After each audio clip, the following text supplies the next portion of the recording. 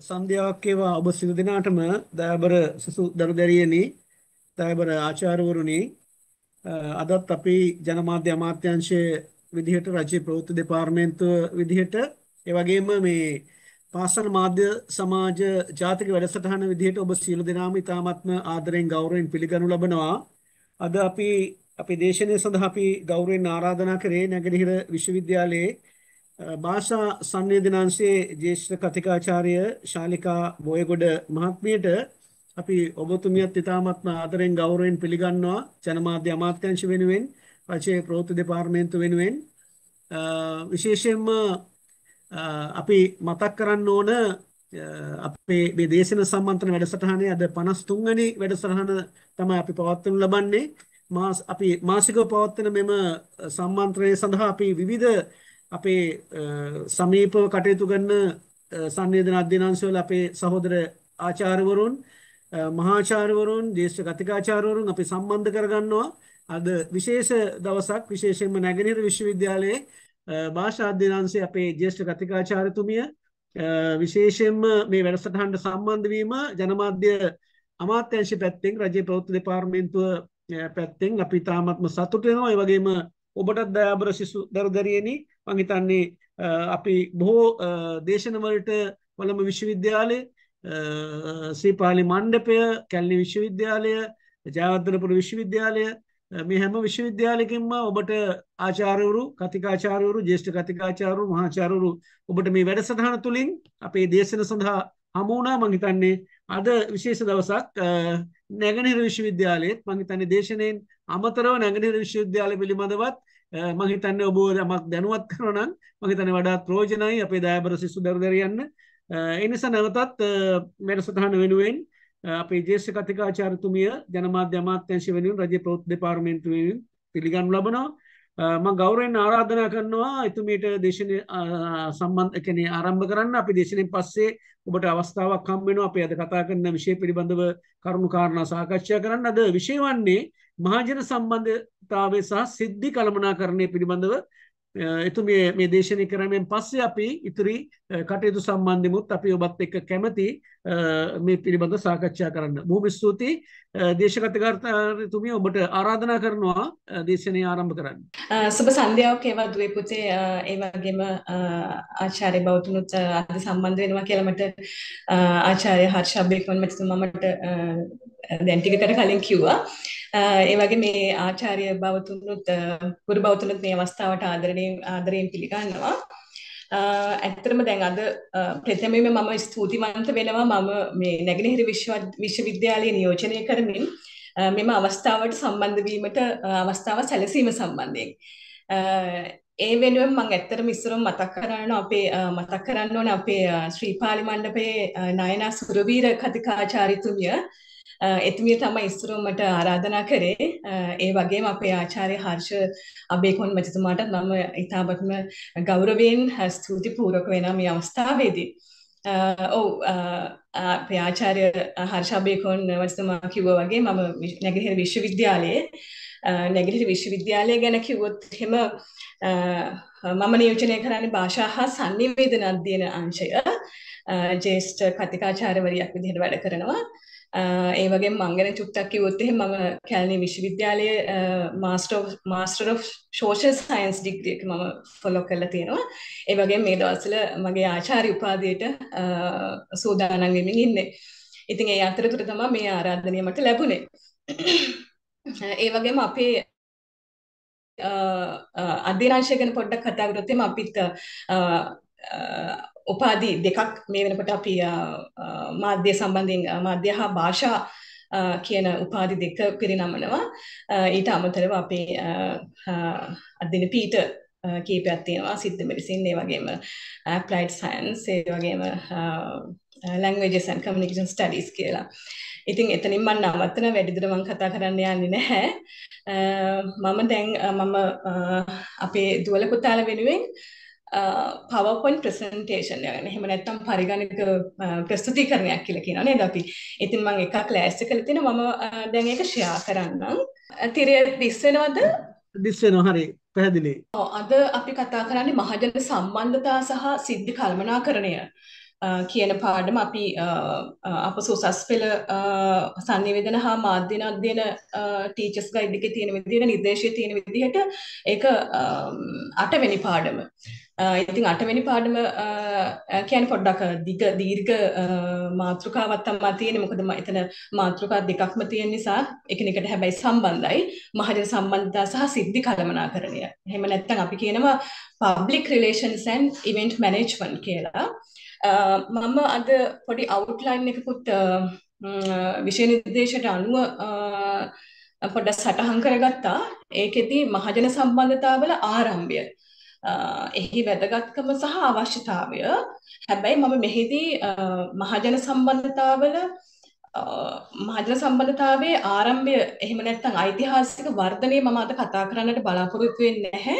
අපිට අවශ්‍ය වුණොත් ඉදිරියේදී අපිට යම් අපේ දුවල පුතාලට යම්කිසි ගැටලුවක් ඇති වුණොත් විතරක් අපි ඒ පිළිබඳව කතා කරමු නැත්නම් ඒ ගැන කතා කරන්න ගියොත් එහෙම අපිට මේ පැය දෙකක් වගේ සුළු කාලයක් අපිට මදි වෙයි.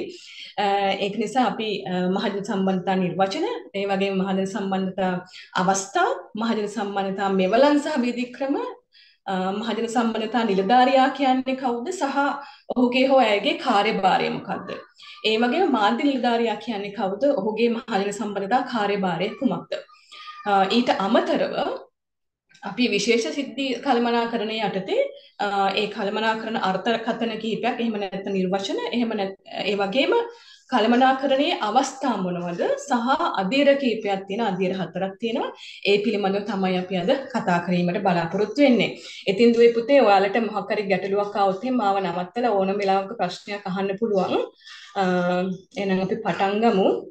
මම ඇත්තටම හිතුවා අද මෙහෙම මේ පටන් ගන්න.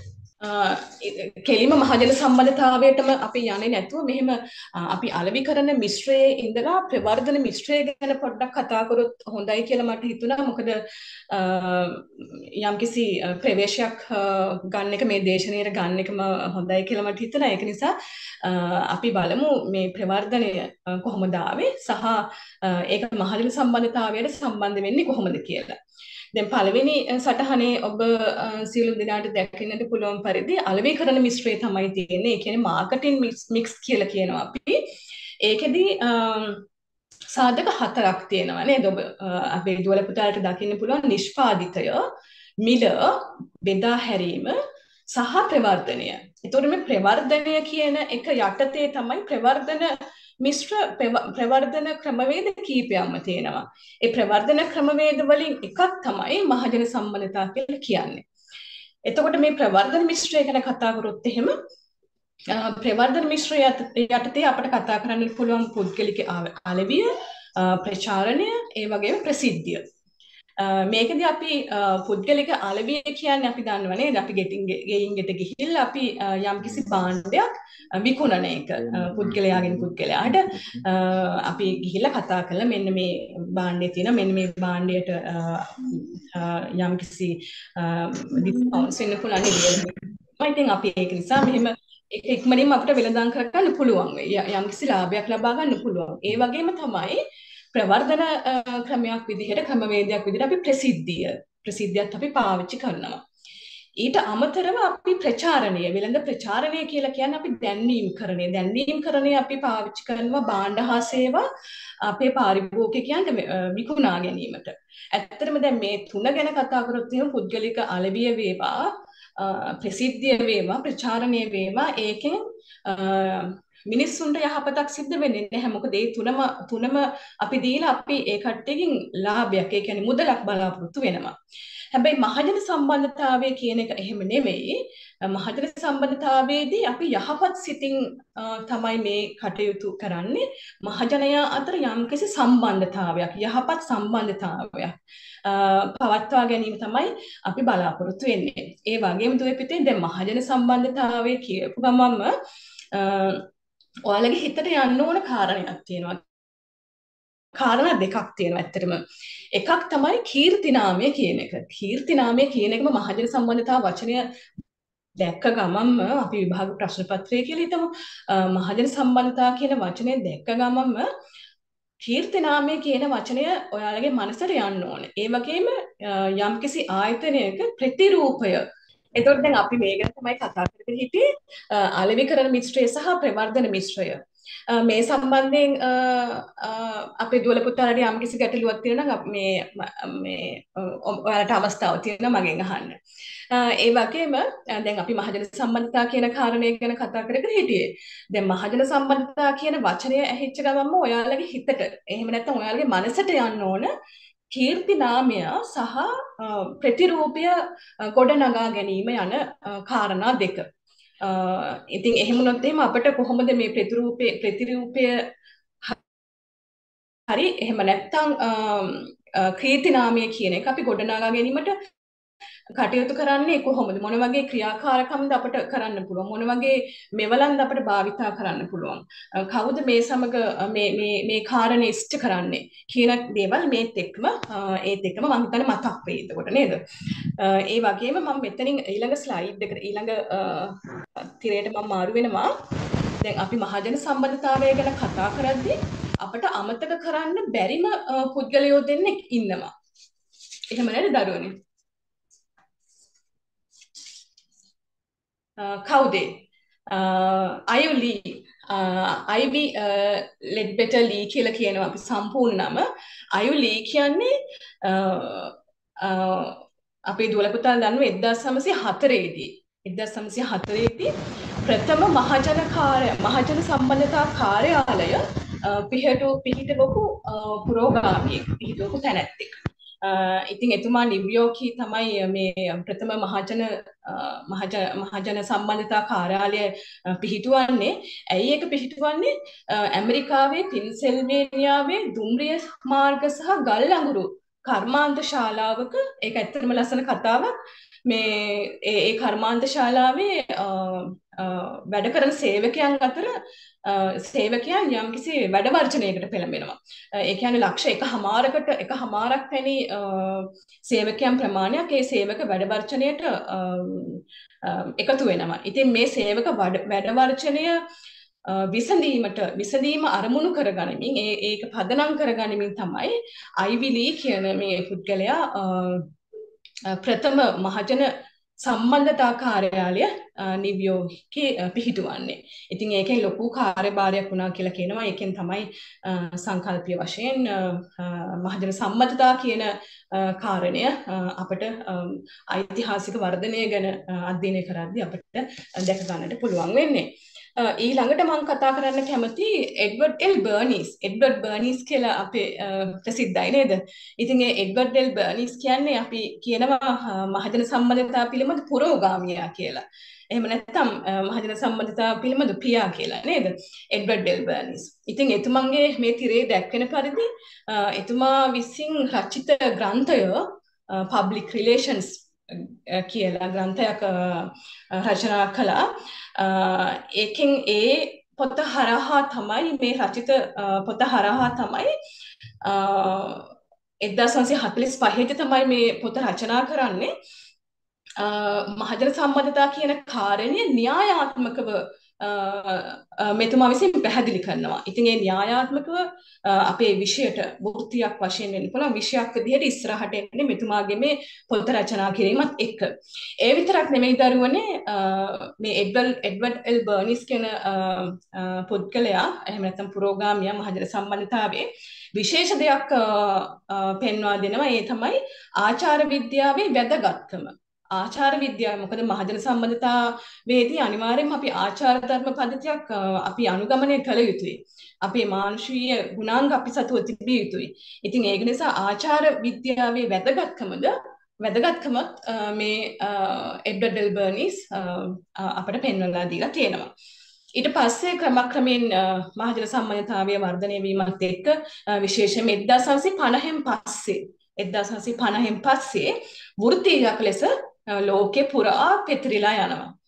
බ්‍රිතාන්‍ය ඇමරිකාව වගේ ලෝකෙ පුරා පැතිරිලා යනවා. ඒ ඒ විතරක් නෙමෙයි දරුවනේ විශ්වවිද්‍යාල මට්ටමින් පවා දැන් අපේ sannivedana උපාධි පාඨමාලාව ගත්තත් අපෙත් තියෙනවා advertising and promotions public relations and event management අන්න ඒ වගේ මේකත් එක්ක යන මේ මේ හා සම්බන්ධ විෂය විෂයන් කීපයක් තියෙනවා. ඉතින් ඒ තරමට ඒ වගේම මේ මේ මහජන සම්බන්ධතාවය සම්බන්ධයෙන් පර්යේෂණ රාශියක් රාශියක් සිද්ධ වෙනවා. ආචාර්ය උපාධි මට්ටමින් PhD මට්ටමින් ලොකු පර්යේෂණ ප්‍රමාණයක් සිද්ධ වෙමින් තියෙනවා. ඒ ඒ තරමට මේකේ බලපෑම වැඩි සම්බන්ධ මහජන සම්බන්ධතාව කියන කාරණේදී අනිත් අනිත් ප්‍රවර්ධන ක්‍රියාමාර්ගයක බලදී දැන්වීම් කරණය ඒ වගේම ප්‍රසිද්ධිය ඒ වගේම පෞද්ගලික අලවියත් එක්ක බලද්දී පබ්ලික් රිලේෂන්ස් කියන කාරණය එහෙම නැත්නම් මහජන සම්බන්ධතා කියන කාරණයෙන් අපිට ලොකු බලපෑමක් ලබා ගැනීමට පුළුවන්. ඒ වගේම මහජන සම්බන්ධතාව කියන එකෙන් අපිට දීර්ඝ කාලීන ප්‍රතිඵල බලාපොරොත්තු වෙන්න පුළුවන්. අපි අනිත් තුන ගැන කතා කරොත් දැන්වීම් කරන ගැන කතා කරොත් මේ වගේ කෙටි කාලීන කෙටි කාලීන ප්‍රතිඵලයක් තමයි අපි බලාපොරොත්තු වෙන්නේ. ඒ වගේම මම තව ටිකක් මහජන සම්බන්ධතාවය සහ දැන්වීම කියන කාරණය මෙතනදී කතා කරන්නම්. අපි මහජන සම්බන්ධතාවය කියන්නේ කළමනාකරන කටයුත්තක්. ඒකත් අපේ දරුවෝ මනසට ගත යුතු දෙයක් කළමනාකරන කටයුත්තක්. හැබැයි දැන්වීම් කරණය කියන්නේ අලෙවි කරන කටයුත්තක්. අපි භාණ්ඩ හා සේවාවක් අලෙවි කිරීමක් සමයි වෙන්නේ මේකෙදි. හැබැයි මේ දෙක අතර සමානකමක් තියෙනවා දරුවනේ දැන්වීම් කරණයත් මහජන සම්බන්ධතාවයත් පෙළඹවීම පෙළඹවීම යන කාරණය පෙළඹවීම ලොකු පෙළඹවීමක් සිද්ධ වෙනවා යම්කිසි කෙනෙකුගේ හිතේ ලොකු පෙළඹවීමක් ඇති වෙනවා. ඉතින් ඒ වගේ සමාන අසමානකම් තියෙනවා. ඒ වගේම අපි දැන්වීම් කරනේදී ගොඩක් දුරට අපි ජනමාධ්‍ය වගේම නවමාධ්‍ය අපි භාවිතා කරනවා. නමුත් අපි මහජන සම්බන්ධතා කියන කාරණේදී ජනමාධ්‍ය වගේම යන්ත්‍ර සහායක සංනිවේදනයත් අපි භාවිතා කරනවා. ඒ වගේම මහජන සම්බන්ධතා කියන කාරණේදී අපි පුද්ගලාන්තර සම්බන්ධතා තමයි පවත්වාගෙන යන්නේ අපි මහජනයා එක්ක අභ්‍යන්තර වේවා අභ්‍යන්තර මහජනයේ මහජනයා වේවා බාහිර මහජනයා වේවා ඒ කට්ටියත් එක්ක අපි පුද්ගලාන්තර සම්බන්ධයක් තමයි පවත්වාගෙන යන්නේ. ඒ වගේම මහජන සම්බන්ධතාවයේදී අපි ඍජුව මුදල් සමග ගනුදෙනු කිරීමක් නැහැ. හැබැයි අපි දැන්වීම් කරණය වෙළඳ දැන්වීම් කරණය ගත්තොත් එහෙම ඒකට අනුග්‍රාහකයෙක් ඉන්නවා සහ ඍජු මුදලක් සම්බන්ධ වෙනවා. සමහර විට අපිට කියන්න පුළුවන් අපි අපි හිතමු දැන් අපේ පාසලේ තියෙන නිවාසාන්තර මල්ල ක්‍රීඩා තරගෙට යම්කිසි ආයතනයක් අපි හිතමු සිසිල් බීම පානයක් දෙනවා. එහෙම නැත්නම් කිරි පැකට් දෙනවා. ඉතින් එතනදී මුදල් මුදල් යම්කිසි ඍජුව නෙවෙයි වක්‍රව යම්කිසි විදිහකට සල්ලි අවශ්‍ය වෙනවා කියලා කියන්න පුළුවන් කාට හරි. ඒ වුණාට එතනදී අපි බලාපොරොත්තු වෙන්නේ විකිණීමක්. අපි අපි විකුණන්නේ අපේ දරුවන්ට අපි ඒ කිරි පැකට් එක විකුණන්නේ ඒක නිකන් දෙන්නේ. ඉතින් මේකෙන් ඇතිවන බලපෑම සමහරට අවුරුදු ගාණක් ගිහිල්ලා මෙන්න මේ ආයතනය අපිට මෙන්න මේ කිරි පැකට් එක දුන්නා මෙන්න මේක තමයි මේ බ්‍රෑන්ඩ් එක කියලා අපිට සමහරට මතක තියෙන්න පුළුවන්. ඒක දීර්ඝ කාලීනයි. ඒකේ බලපෑම අතිවිශාලයි. ඉතින් ඊළඟට මම කතා කරන්න බලාපොරොත්තු වෙනවා මහජනයා කියන දැන් මහජන සම්බන්ධතා කියන එකේදී මහජන කියන එක අපි කතා කළ යුතුයි. මොකද මහජන කියන එකේදී අපි කොටස් දෙකකට බෙදනවා. අභ්‍යන්තර මහජනයා සහ බාහිර මහජනයා. හැබැයි මේ අභ්‍යන්තර මහජනයා වේවා බාහිර මහජනයා වේවා එයාලට තියෙන්නේ සමාන පොදු අවශ්‍යතා. පොදු අවශ්‍යතා තියෙන පුද්ගලයෝ සමූහයක් තමයි අපි මහජනයා විදිහට ගන්නෙ. ඒකත් එක කාරණයක් විදිහට අපි ගමු. ඒ වගේම මම මෙතන දක්වලා තියෙනවා මහජන කියන එකට උදාහරණ කීපයක් අභ්‍යන්තර හෝ බාහිර ගනුදෙනුකරුවන් සමහරට පාරිභෝගිකයන් විශේෂ අවශ්‍යතා සහිත කණ්ඩායම් ආණ්ඩු ඒ වගේම රාජ්‍ය ඒ වගේම අපට ගන්න පුළුවන් ආයතන රාජ්‍ය ආයතන වෙනත් මැදිහත්කරුවන් NGO වැනි රාජ්‍ය නොවන ආයතන පවා අපට ගන්න පුළුවන් මහජනයා විදිහට. ඒ වගේම අපි ලාභදා ලාභයක් අරමුණු කරගෙන අරමුණු කරගත් ආයතනයක ඉන්න පුළුවන් ඒකේ ප්‍රතිලාභියෝ ඉන්න පුළුවන් ඒ වගේම අපි පාරිභෝගිකයන්ව අපි අපි ටාගට් කරනවා ඒ වගේම ආයෝජකයෝ සහ සම්පත්දායකයෝ. ඉතින් මේ වගේ අපිට ලැයිස්තුවක් හදාගන්න පුළුවන් මහජනයා කියන්නේ කවුද කියලා. ඒත් ඒ වගේම පාසලක් ගමු. පාසලක දරුවනේ අපේ දරුවෝ අපේ ශිෂ්‍ය ශිෂ්‍යාවන් තමයි අපේ මහජනයා වෙන්නේ. ඒ වගේම අපේ ශිෂ්‍ය ශිෂ්‍යාවන් දෙමව්පියන් මහජනයා වෙනවා නේද?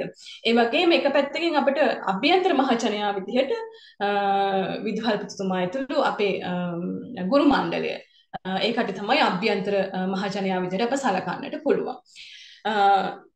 ඊට පස්සේ මම කතා කරන්නම් මහජන සම්බන්ධතා මහජන සම්බන්ධතාවයක් කියන්නේ මොකක්ද කියලා මං කලින් කිව්වා වගේ දුවේ පුතේ මෙතනදී කීර්ති නාමයක් ඇති කිරීම සඳහා පුද්ගල අදහස් සහ හැසිරීම් වලට බලපෑම් කිරීම. දැන් මෙතනින් මම මම අර කලින් කිව්වා වගේ කීර්ති නාමයක් ඇති කිරීම. ඒක විශේෂ ඒක මනසට ගන්න ඕන. ඒ වගේම මේ කීර්තනාමයට අපිට තවත් නම් කියන්න පුළුවන් ඉතා සරලවම කිව්වොත් අපි හොඳ හිත කියලා කියන good will කියලා කියන හොඳ හිත හොඳ හොඳ නාමයක් ඇති කර ගැනීම. ඒ වගේම අන්‍යෝන්‍ය අවබෝධි ස්ථාපනය කිරීම. ඒ වගේම දරුවනේ දැන් මේ අන්‍යෝන්‍ය අන්‍යෝන්‍ය අවබෝධය අපි ස්ථාපනය කරාට විතරක් මදි. ඒක පවත්වාගෙන යාමත් අපි කළ යුතුයි. ඒ පවත්වාගෙන යාම හෝ ස්ථාපනය කිරීම සැලසුම් සහගතව අපට සැලසුමක් තියෙන්න ඕන. මෙන්න මේ ආකාරයට තමයි අපි වාර්ෂිකව මෙන්න මේ මේ කටයුතු ටික මෙන්න මේ මහජන සම්මතතා ක්‍රියාමාර්ග ටික අපි ගන්නවා. ඒ ඒ ඒ ඒ ඒකට සැලසුමක් තියෙන්න ඕන. ඉතින් ඒ එහෙම බලද්දී ඒක ස්ථීරසාර ප්‍රයත්නයක් වෙනවා. මහජනයාත් එක්ක සම්බන්ධ වෙන. ඉතින් මේ මේ කාරණේට තමයි මේ කාරණේට තමයි අපි කියන්නේ මහජන සම්බන්ධතා මහජන සම්බන්ධතාවය කියලා. ඉතින් මේ මහජන සම්බන්ධතාවය කියන එක අපිට තවත් පැහැදිලි කර ගැනීමට ගැනීමට පුළුවන් නිර්වචන හරහා. විශේෂයෙන්ම මම අද කතා කරන්න කැමති ඉතාම කෙටියෙන් නිර්වචන පිළිබඳවත් මොකද වෙබ්ස්ටර් ශබ්දකෝෂයට අනුව එහෙම නැත්නම් වෙබ්ස්ටර් නවකොලීජියට ශබ්දකෝෂයට අනුව මහජන සම්බන්ධතාවයක් කියන්නේ ක්‍රියාදාමයක් කියලා කියනවා නේද පුතේ? ක්‍රියාදාමයක්. ඒක ක්‍රියාදාමයක්. මම කලින් කිව්වා වගේ ඒක වාර්ෂිකව සමහරට මාසිකව වෙන්න පුළුවන්. ඒක අපි අපි අපි සැලසුම් සහගතව කරන ක්‍රියාමාර්ගයක්. ඒ වගේම ඒක අපි මහජන සම්බන්ධතාවය කියන කාරණේ අපි ක්‍රියාදාමයක් ලෙස සලකන්නේ ඒකෙන් අපි අපි කරන්නේ දැනුවත් කිරීමක් අපේ අභ්‍යන්තර මහජනයා හෝ බාහිර මහජනයා දැනුවත් කිරීම අපේ ආයතනයේ මෙන්න මේ වගේ ක්‍රියාමාර්ග ගන්නවා. මෙන්න මේ වගේ දෙයක් තමයි අපි කරන්න ඉස්සරහට බලාපොරොත්තු වෙන්නේ. එහෙම කියලා අපි දැනුවත් කිරීමක් සම්පූර්ණ අපි දැනුවත් කිරීමක් කරනවා. දැන් අපේ ඒ වගේම මේ දැනුවත් කිරීම විතරක් නෙවෙයි. ඒ තුලින් අපි හොඳ හිත වර්ධනයක් හොඳ හිත වර්ධනය කර ගැනීමක් ඒ වගේම ප්‍රතිරූපය වැඩි කර ගැනීමක් අපි කරන ක්‍රියාදාමයක් විදිහට තමයි අපි සලකන්නේ. ඒ කියන්නේ වෙබ්ස්ටර් නව කොලීජියේ ශබ්දකෝෂයට අනුව. ඒ වගේම ඒ වගේම මහජන සම්බන්ධතා පුරෝගාමියා වන එඩ්වඩ් බර්නිස් කියන්නේ මහජන සම්බන්ධතා කියන්නේ විෂයක් විදිහට. මං හිතන්නේ මේක මම නිර්වචනය මම අන්ඩර්ලයින් කරලා තියෙනවා විෂයක් විදිහට. ඒ කියන්නේ විෂයක් ඒක එඩ්වඩ් බර්නිස්ගෙන් තමයි මේ මං අර කලින් කිව්වා වගේ මේක න්‍යායාත්මකව විශ්වවිද්‍යාලවල පවා විශ්වවිද්‍යාල මට්ටමින් පවා හදාරන විෂයක් බවට පත් වෙන්නේ. ඒක තමයි අපි කියන්නේ මේක විෂයක් කියලා. මහජන සම්බන්ධතාවය කියන්නේ විෂයක්. ඒ වගේම මේකෙදිත් එඩ්වඩල් බර්නිස් කියනවා අපි මිනිසා පෙළඹවීමට පෙළඹවීමට තමයි මේ මහජන සම්බන්ධතාවය භාවිච්ච කරන්නේ. අපි මේ පෙළඹවීම කරන්නේ කොහොමද? යම්කිසි පුද්ගලයෙකුගේ මතයක් හෝ කරුණක් හෝ සිද්ධියක් හෝ ව්‍යාපෘතියක්. කට අපි යම්කිසි පෙළඹවීමක් කරනවා. ඉතින් ඒ දේ තමයි අපි සරලව එඩ්ඩඩ් Uh, බර්නිස්ගේ uh, නිර්වචනයෙන් අපට ගන්න uh, පුළුවන් දේ. ඊට පස්සේ අපි චාල්ස් ෆ්ලැකාඩ් කියන um, අලිවිකරණ හා සංනිවේදන අලිවිකරණ හා දැන්වීම් කරණය සම්බන්ධ පුද්ගලයෙක් චාල්ස් ප්ලැකාඩ් කියන්නේ ඔහුගෙන් ගන්න පුළුවන් දෙයක් තමයි අපිට ඔහු කියනවා යහපත් සිතින් යුතුව මානව සදාචාර සම්පන්න භාවය ඇති කිරීම. ඒක විශේෂයි. මොකද අපි මේ මේ කාරණේ අපි ඉෂ්ට කරන්නේ මහජනයා සමග මෙච්චර මේ යහපත් සිතින් හොඳ සම්බන්ධයක් ප්‍රශස්ත මට්ටමේ ප්‍රශස්ත මට්ටමේ යහපත් සම්බන්ධයක් අපි පවත්වාගෙන යන්නේ යහපත් සිතින් යුතුව. අන්න ඒ කාරණය අපිට මේ නිර්වචනයෙන් අපිට ගන්න පුළුවන් දෙයක්. ඒ වගේම සෑම් බ්ලැක් සෑම් බ්ලැක් කියන කාරණය තමයි කිසියම් සංවිධානයක් සම්බන්ධතා පවත්වන අභ්‍යන්තර හා බාහිර. එතුමාගේ නිර්වචනයෙන් අපට ගණ්ඩ පුළුවන් දෙයක් තමයි මහජන සම්බන්ධතාවේදී අපි අපි මහජන මහජනය කොටස් දෙක්කර බෙදන. මං කලින් කියපු විදිහට අභ්‍යන්තර මහජනය වෙන්න පුළුවන් බාහිර මහජනය වෙන්න පුළුවන්. අපි ආයතනයක් ගත්තොත් එහෙම ආයතනයේ වැඩ කරන ආයතනයේ වැඩ කරන සේවකයන් සේවකයන් අපට ගන්න පුළුවන් අභ්‍යන්තර මහජනයා විදිහට. ඒ වගේම බාහිර මහජනයා විදිහට අපිට පාරිභෝගිකයන් ගන්න පුළුවන්. එහෙම නැත්නම් ඒ අපිටම සම්පත්දායකයන් ගන්න පුළුවන් අපිට. ඒ වගේ කට්ටිය තමයි බාහිර මහජනයා විදිහට ගන්න පුළුවන්. ඊට පස්සේ අපි බලමු බ්‍රිතාන්‍යයේ මහජන සම්බන්ධතා පිළිබඳ වරලත් ආයතනය. ඉතින් බලන්න මේකෙදී බ්‍රිතාන්‍යයේ මහජන සම්බන්ධතා පිළිබඳ වරලත් වරලත් ආයතනයක් පවා පිහිටුවලා තියෙනවා. ඒ කියන්නේ මේකේ මේ මහජන සම්බන්ධතා කියන විෂයෙහි ප්‍රබලත්වය මම හිතන්නේ ඒක විෂයක් විදිහට ඒ වගේ මූර්තියක් විදිහට ප්‍රබලත්වය අපිට වටහා ගැනීමට අමාරු නෑ කියලා මම හිතනවා. දැන් මේකෙදි කියන විදිහට සංවිධානයක් විසින් ඒහා බැඳී පවතින මහජනතාව අතර හොඳ හිත සහ අවබෝධය ඇති කිරීම හා ඒ පවත්වාගෙන යාම සඳහා ගනු ලබන සැලසුම් සහගත මෙන්ම ස්ථීරසාර මහජන සම්බන්ධතා. මේකෙන් මම ගත්තේ මේ සැලසුම් සහගත මෙන්ම ස්ථීරසාර මොකද මම කලින් කිව්වා වගේ මහජන සම්බන්ධතාවයක් කියන්නේ අපි ස්ථාපනය කළ යුතු දෙයක් ඒ වගේම ඒක පවත්වාගෙන යා යුතු දෙයක්. එහෙමනම් අපිට සැලසුම් සහගත වෙන්න ඕන වගේම ස්ථීරසාර උත්සාහයකුත් ගන්න වෙනවා. මම එතනින් මේ මහජන සම්බන්ධතා නිර්වචන පිළිබඳ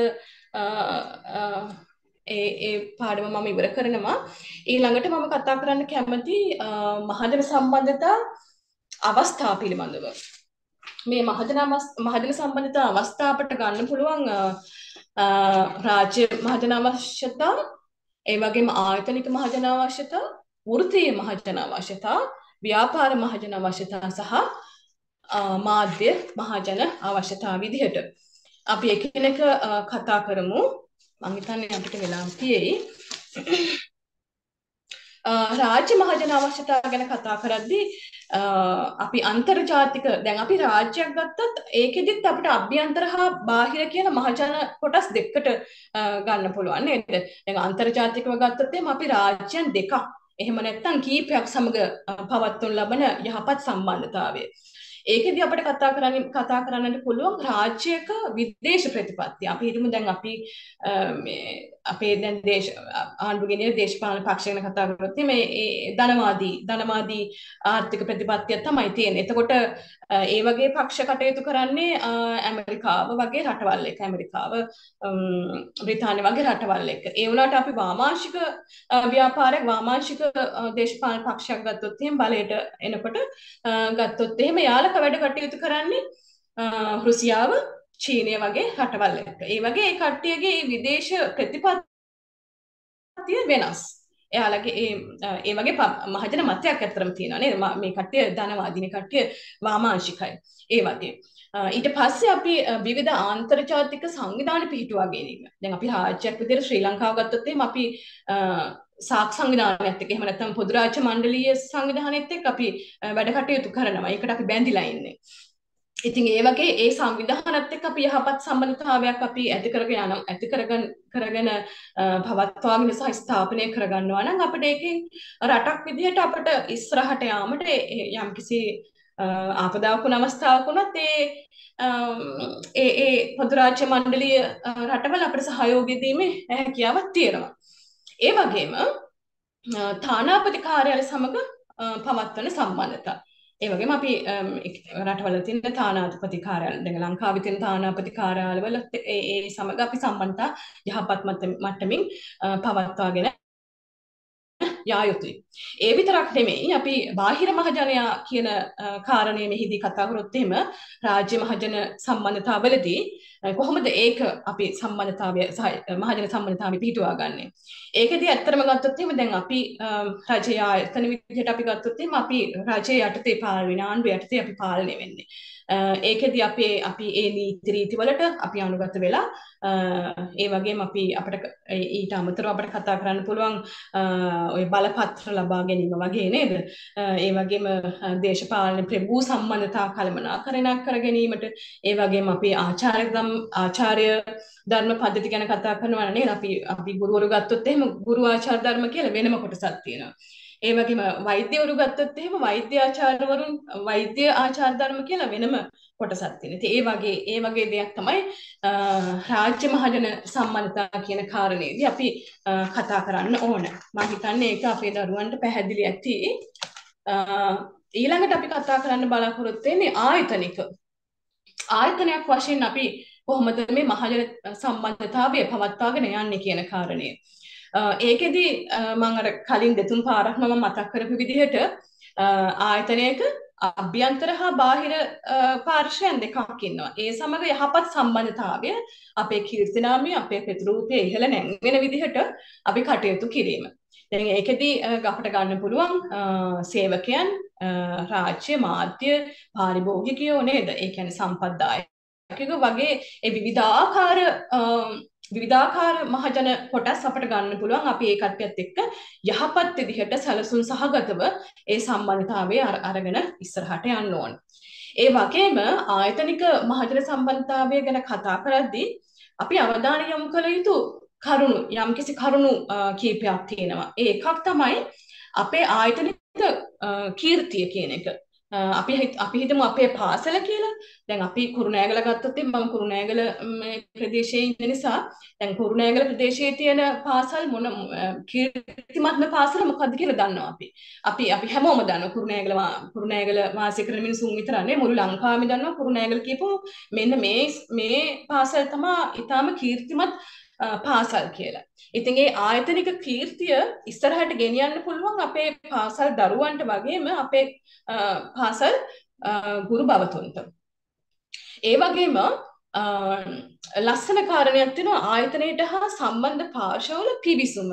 ඒ කියන්නේ අපි දැන් යම්කිසි ආයතනයකට ප්‍රවේශ වෙද්දී ප්‍රවේශ වෙද්දී ඒ ආයතනය හරි ලස්සනට තියෙනවා නම් අපි හිතමු රෝහලක් කියලා. රෝහලේ ලස්සනට නේද? අපි ගොඩක් ඔය බැංකුවල වගේ අපිට දකින්නට ලැබෙන කාරණයක් තමයි ලස්සන සෝෆා සෙට් එකක් දාලා නේද? ගෙදර සාලේ වගේ ලස්සනට හදලා මාළු ටැංකි තියලා නේද? ඒ වගේම ටීවී එකක් තියලා ඒ වගේ හරි ලස්සනට ඒ ඒ පිවිසුම එහෙම නැත්නම් ඒ ආයතනයේට ඇතුළු වුණාට පස්සේ හරිම ආස හිතන එතන ඉන්න ආස හිතන තත්ත්වයක් නිර්මාණය කරලා තියෙනවා. හැබැයි ඒක ප්‍රාදේශීය සභාව වගේ ගත්තොත් එහෙම චුට්ටක් වෙනස් වෙන අවස්ථාවක් තියෙනවා නේද? මොකද ප්‍රාදේශීය සභාවලට ගියොත් එහෙම අපි දන්නවා ඒ වගේ ආයතන වලට ගියොත් එහෙම අපිට කොහොමද සලකන්නේ කියලා. ඉතින් ඒක ගැන අපි ගොඩාක් පරිස්සම් වෙන්න ඕන. මොකද ආයතනයේ වැඩ කරන සේවකයන් විදිහට රාජ්‍ය සේවකයන් විදිහට අපි එක කෙනෙකුට අපි කතා කරනවා නම් සමහරට අපි වචනයක් දෙකක් වෙන්නේ නැති අපි කතා කරන්නේ. ඒ වුණාට ඒක මුළු සමාජයකට ආමන්ත්‍රණය කිරීමක් විදිහට තමයි අපි සැලකන්නේ නේද? අපි ඉතින් ඒ වගේ කාරණා ටිකක් තියෙනවා. ඒ වගේම විවිධ විවිධ මත සාදන්නු. ඒ කියන එක. ඒ වගේ මම ඒ දෙක ගැන කතා කරන්න කරන්න යන්නේ අපේ දුවල පුතාලා දන්නේ නැති ඒ වගේම තව දෙයක් ගන්න පුළුවන් අපිට මේ මාධ්‍ය ජනමාධ්‍ය හා නවමාධ්‍ය අපි පාවිච්චි කරන්නේ කොහොමද කියන එක. කියන ආයතනයේ කීර්තිනාමය හෝ ප්‍රතිරූපය ගොඩනැංවීමට සහ දියුණු කිරීමට අපිට කොහොමද අපේ වෙබ්සයිට් එක අපි හිතමු අපේ යුනිවර්සිටි වෙබ්සයිට් එක අපි කොහොමද අප්ඩේට් කරන්නේ? යාවත්කාලීන කරන්නේ කොහොමද? ඒක දිනෙන් දින අපි යාවත්කාලීන කරන්න වෙනවා. අපේ යම්කිසි um, ඉවෙන්ට් එකක් තිබ්බොත් මේකේ ෆොටෝස් ෆොටෝ ගැලරියක් හරි හදලා මහ කරේ කරලා අපි ඒක යාවත්කාලීන කරන්න වෙනවා. ඒක බලන කෙනෙක්ට ඒ අවශ්‍ය um, දේවල් සමහට ඩවන්ලෝඩ් කර ගැනීමට වෙන්න පුලන් නේද? අවශ්‍ය ඩොකිමන්ස් ඉතින් ඒකට අවස්ථාව අපි සලසලා දීලා තියෙන්න ඕන. ඒ වගේම අපට සමහර ආයතන ෆේස්බුක් පේජ් හදලා ඒවා යාවත් කාලීන කරනවා. ඒ වගේම ඒ වගේ ඒ පෑන් පේජස් වෙන්න පුළුවන්. ඒ වගේ දේවල් අපට අනුගමනය කිරීමට පුළුවන්. ඒ තුළින් අපට යම්කිසි මට්ටමකට මහජන සම්බන්ධතාවය ඉදිරියට ගෙන යාමට ප්‍රතිරූපයෙන් ගොඩ නැංවීමට අපට හැකියාව ලැබෙනවා ඊළඟට අපි කතා කරමු වෘත්තීය මහජන සම්බන්ධතා පිළිබඳව මේ ගැන මම වැඩි දුර කතා කරන්න යන්නේ නැහැ. මොකද දැන් අපි දන්නවා මහජන සම්බන්ධතාවය කියන කාරණය ගත්තොත් මේ මහජන සම්බන්ධතාවය විෂයාත්මක පදනම අභිබවල යනවා. ඒක අපි දන්නවා. මොකද වෘත්තීය මට්ටමට දැන් ඇවිල්ලා තියෙන්නේ. දැන් අපි සංවර්ධනය වෙමින් රටක් ගත්තොත් එහෙම ලංකාව වගේ සංවර්ධනය වෙමින් රටවල් වල මේකේ වෘත්තීයභාවය ගැන කතා කරද්දී මේ ලොකු වැටුපක් ලැබෙන්නේ නැහැ. හැබැයි සංවර්ධිත රටක් ගත්තොත් එහෙම ඒ ඒ රටවල් වල ඒ ඒ තනතුරට ඉහළ වැටුපක් ඒ වෘත්තීයභාවය ආරක්ෂා කරලා තියෙනවා. ඉතින් මේ ගැන කතා කරද්දී අපි හිතමු මහජන සම්බන්ධතා නිලධාරියෙක් කියන්නේ යම්කිසි වෘත්තිභාවයක් ඇතුව කටයුතු කරන්න ඕන පුද්ගලයෙක්. මොකද අපේ මහජනයත් එක්ක තමයි අපි කටයුතු කරන්නේ.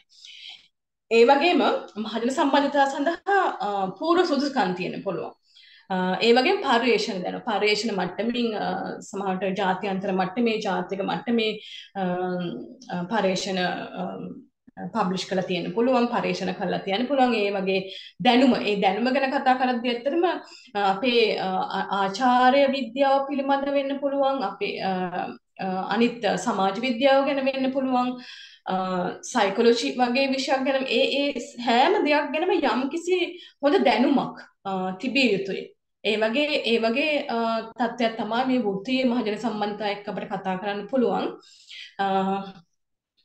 ඊළඟ එකට අපි යමු.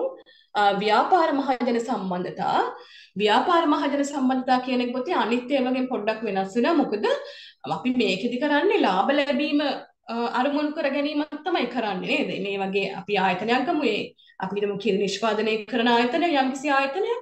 ඉතින් ඒ ආයතනයට තියෙන ලාභ ලබා ගැනීමේ අරමුණක් තියෙන්නේ. ඉතින් ඒ ලාභ ලබා ගැනීමේ අරමුණත් එක්ක තමයි ඒ කට්ටිය ඉස්සරහට යන්නේ. ඒ ඉස්සරහට යද්දී විවිධාකාර උපක්‍රම භාවිතා කරනවා. උදාහරණයක් විදිහට නව භාණ්ඩයක් සහ සේවාවක් හඳුන්වා දෙන්න පුළුවන්. දැන් තියෙන භාණ්ඩවලට අමතරව නව සේවාවක්, නව නව භාණ්ඩයක් හඳුනා දීම. ඒ වගේම කරන්න පුළුවන් දෙයක් තමයි සමහර විට මේ මහජන සම්බන්ධතාවයේදී මේ භාණ්ඩ සමහර විට නව භාණ්ඩයක් හඳුන්වා දෙද්දී වෙළඳපොළට අපට ඒක නොමිලේ ලබා දෙන්න පුළුවන්. නොමිලේ ලබා දීමක් කරන්න පුළුවන්. එතකොට ඒ මගින් අපි මුදල් එක්ක ගනුදෙනු කිරීමක් නැති නිසා අපි මහජන සම්බන්ධතාවය යම්කිසි ආකාරයකට අපිට ගොඩනගා ගැනීමට පුළුවන්. ඒ ඒක ඒ වගේම තරගකාරී වෙළඳපොලේ තරගකාරීත්වයක් ඇති අවස්ථාවකදීත් අපිට මේ ඒ ඒ ඇතිවන ප්‍රතිවිරෝධය ජය ගැනීමටත් අපිට මේ වගේ මහජන සම්බන්ධතා ක්‍රියාකාරකම් ඒවා ක්‍රිය ක්‍රමවේද වේවා උපකරණ වේවා අපිට පාවිච්චි කිරීමට පුළුවන්. ඉතින් ඒ වගේම යම්කිසි අපි හිතමු ව්‍යාජ ප්‍රසිද්ධියක් අයහපත් ව්‍යාජ ප්‍රසිද්ධියක් අපේ ආයතනයට මේ එල්ල වුණා කියලා අපේ ප්‍රතිරූපයට යම්කිසි හානියක් සිද්ධ වුණා කියලා. මේ දුවල පුතාලට මතක ඇති එක කාලෙක මේ කිරි නිෂ්පාදනය කරන ආයතනයක් නේ ඒ ආයතනයේට ඒ ප්‍රතිරූපය කඩා බිඳ නැමෙන විදිහට යම්කිසි චෝදනාවක් එල්ල වුණා. ඉතින් ඒ අවස්ථාවේදී ඒ ආයතනේ වැඩ කරේ කොහොමද? කියන එක සමහරට අපේ දුවල පුතාලට මතක ඇති. ඒ වගේම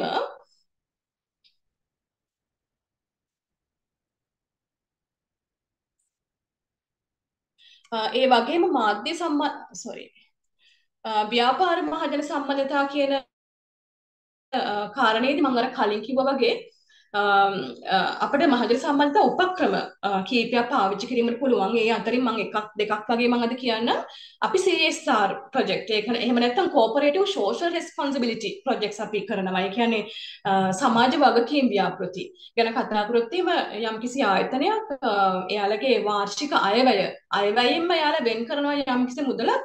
ඔව් අපි මේ මේ පාසලේ මෙන්න මේ දුප්පත් පාසලක් තියෙනවා. ඒ පාසලේ දරුවන්ට සපත්තු අරන් දෙන්න ඕනේ. එහෙම නැත්නම් පොත් අරන් දෙන්න ඕන. අන්න ඒ වගේ ඒ ඒ වගේ CSR ප්‍රොජෙක්ට් මගින් අපට යමහගෙන මහජන සම්බන්ධතා කියන කාරණය ඉෂ්ට කර ගැනීමට පුළුවන්. ඒ වගේම මාධ්‍ය ප්‍රචාරණ සිදු කිරීම මං ඒක චුට්ටක් මං කතා කරන්න මොකද මාධ්‍ය ප්‍රචාරණ සිදු කිරීම මට මතක විදිහට 2023 මේ ප්‍රශ්නය ආවා අපේ විභාග ප්‍රශ්න පත්‍රයට. ඒකද වෙළඳ ප්‍රචාරණ කියන එක නෙමෙයි අපි පාවිච්චි කරන්න ඕන මාධ්‍ය ප්‍රචාරණ කියන එක. නේද? ඇඩ්වර්ටයිස්මන්ට්ස් නෙමෙයි. මාධ්‍ය ප්‍රචාරණය තමයි අපි කරන්න ඕන. අපිතම දැන් අපේ නිෂ්පාදනයට යම්කිසි චෝදනාවක් එල්ල වුණා කියලා ඒ වෙලාව අපි මාධ්‍ය සාකච්ඡාවක් පවත්වලා ඒ මාධ්‍යවේදීන් හෝ ජනමාධ්‍යවේදීන් අහන ඒ ප්‍රශ්න වලට පිළිතුරු සැපවීම. ඒ සැපීම ඒ පිළිතුරු සැපීම හරහා අපිට මහජන සම්බන්ධතාවයේ අර නැති වෙච්ච මහජන සම්බන්ධතාවයේ ඒ නැති වෙච්ච ප්‍රතිරූපය කීර්තිනාමය අපිට දිනා ගැනීමට අවස්ථාවක් ලැබෙනවා. ඒ වගේම මාධ්‍ය මහජන සම්බන්ධතා මේකද ඇත්තටම අපි කටයුතු කරන්නේ මාධ්‍යත් එක්ක නේද? ඒ කියන්නේ අපේ ආයතනික අපේ ආයතනයේ හොඳ හිත වේවා මහජන ප්‍රතිරූපේ වේවා ප්‍රවර්ධනය කිරීමට අපි භාවිතා කරන්නේ මාධ්‍ය. එහිදී අපි මාධ්‍ය එක්ක සම්බන්ධ අපි හිතමු ජනමාධ්‍යවේදීන් ඡායාරූප ශිල්පීන් පිටපත් රචකයන් ඒ වගේ අභ්‍යන්තර හා බාහිර මහජනයත් එක්ක අපි වැඩ කටයුතු කරන්නේ කොහොමද කියන කාරණේ. අපිට එක එක විදිහට ඒකෙදි වැඩ කටයුතු අපේ අපේ සම්බන්ධතා පවත්වාගෙන යාමට පුළුවන් නේද? උදාහරණයක් විදිහට ජනමාධ්‍යවේදීන්ට සාද පැවැත්වීම කියලා අපේ විෂය නිර්දේශය තියෙනවානේ මාධ්‍යවේදීන්ට මාධ්‍යවේදීන් වෙනුවට සාද පැවැත්වීම. මේ සාද පැවැත්වීම කියන එක ආචාර ධාර්මික පැත්තෙමුත් අපිට කතා කරන්න පුළුවන්. එක් කොයිතරම් ආචාර ධාර්මිකද කියන එක. ඒ වගේම අපිට යම්කිසි සුබ පැතුම් පත්‍යවීමක්. ඒ වගේම මාධ්‍ය ප්‍රකාශකයන් පුහුණු කිරීමක් අන්න ඒ වගේ වගේම සමහරට අපට ඡායාරූප නිවේදනයක් ඒ වගේම යම්කිසි අනිකුත් ප්‍රවර්ධන වැඩසටහන් අපට දියත් කිරීමට හැකියාව ලැබෙනවා මාධ්‍ය මහජන සම්බන්ධතා සම්බන්ධතාවේදී ඊට පස්සේ මම කතා කරන්න කැමති මෙන්න මේ ටික මහජන සම්බන්ධතා මෙවලම් ගැන. ඒ කියන්නේ මහජන සම්බන්ධතා මෙවලම් වගේම අපි කතා කරනවා මහජන සම්බන්ධතා විධික්‍රම පිළිබඳව මේ මහජන සම්බන්ධතා මෙවලම් ගැන කතා කරද්දී දුවේ පුතේ මහජන සම්බන්ධතා මෙවලම් කියන අපි සරලව ගත්තොත් උපකරණ ඒ වගේම දැන් මෙතන මේ දක්වලා තියෙන උපකරණ ටික එහෙම නැත්නම් මෙවලන් ටික ඒක මාර්ගිකයි නේද? ඒක මාර්ගිකයි. ඒවා දිවි මාර්ගික නැහැ. ප්‍රතිපෝෂණයක් ලබා දෙන්නේ නැහැ අපිට. උදාහරණ විදිහට ප්‍රවෘත්ති නිවේදන නිවුස් රිලීස් කියලා කියනවා අපි.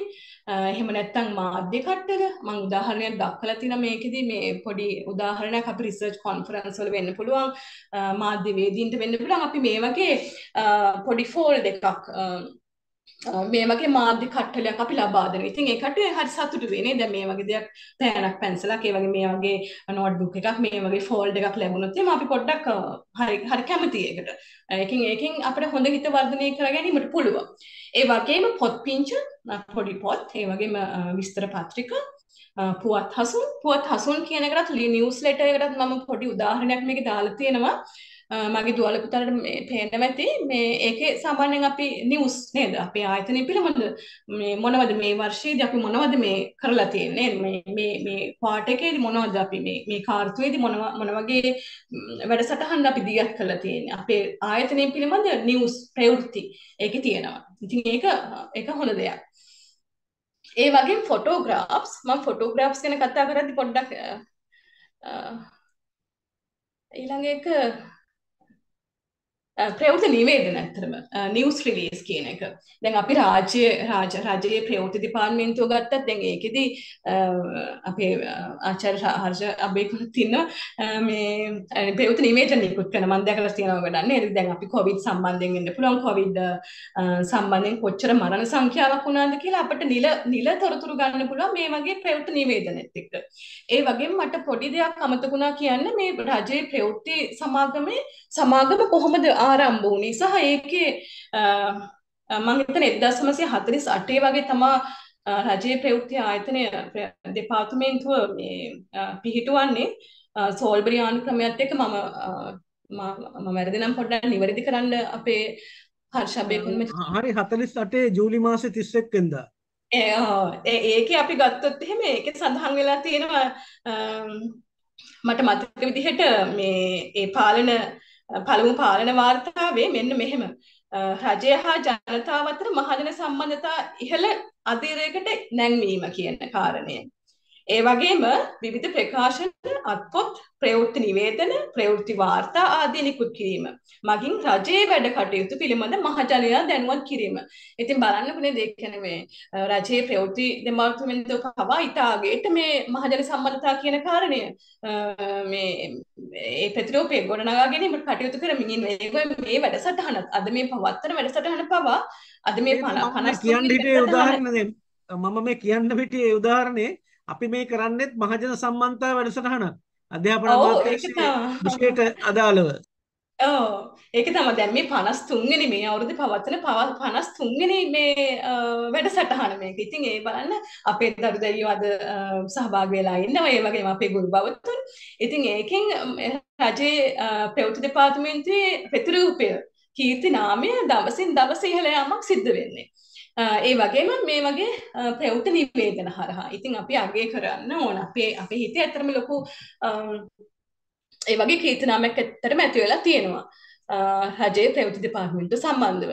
ඊළඟ කාරණේ මම කතා කරන්න කැමතියි ඡායාරූප සම්බන්ධව අපි ඡායාරූපත් අපි මහජන සම්බන්ධතා මෙවලමක් විදිහට භාවිතා කරනවා මම මේක ඇත්තටම මේ උදාහරණයක් විදිහට ගත්තේ අපේ හිටපු ජනාධිපතිවරයෙක් නේද පළවෙනි ෆොටෝග්‍රාෆ් එක එහෙම නැත්නම් ඡායාරූපය ගත්තොත් එහෙම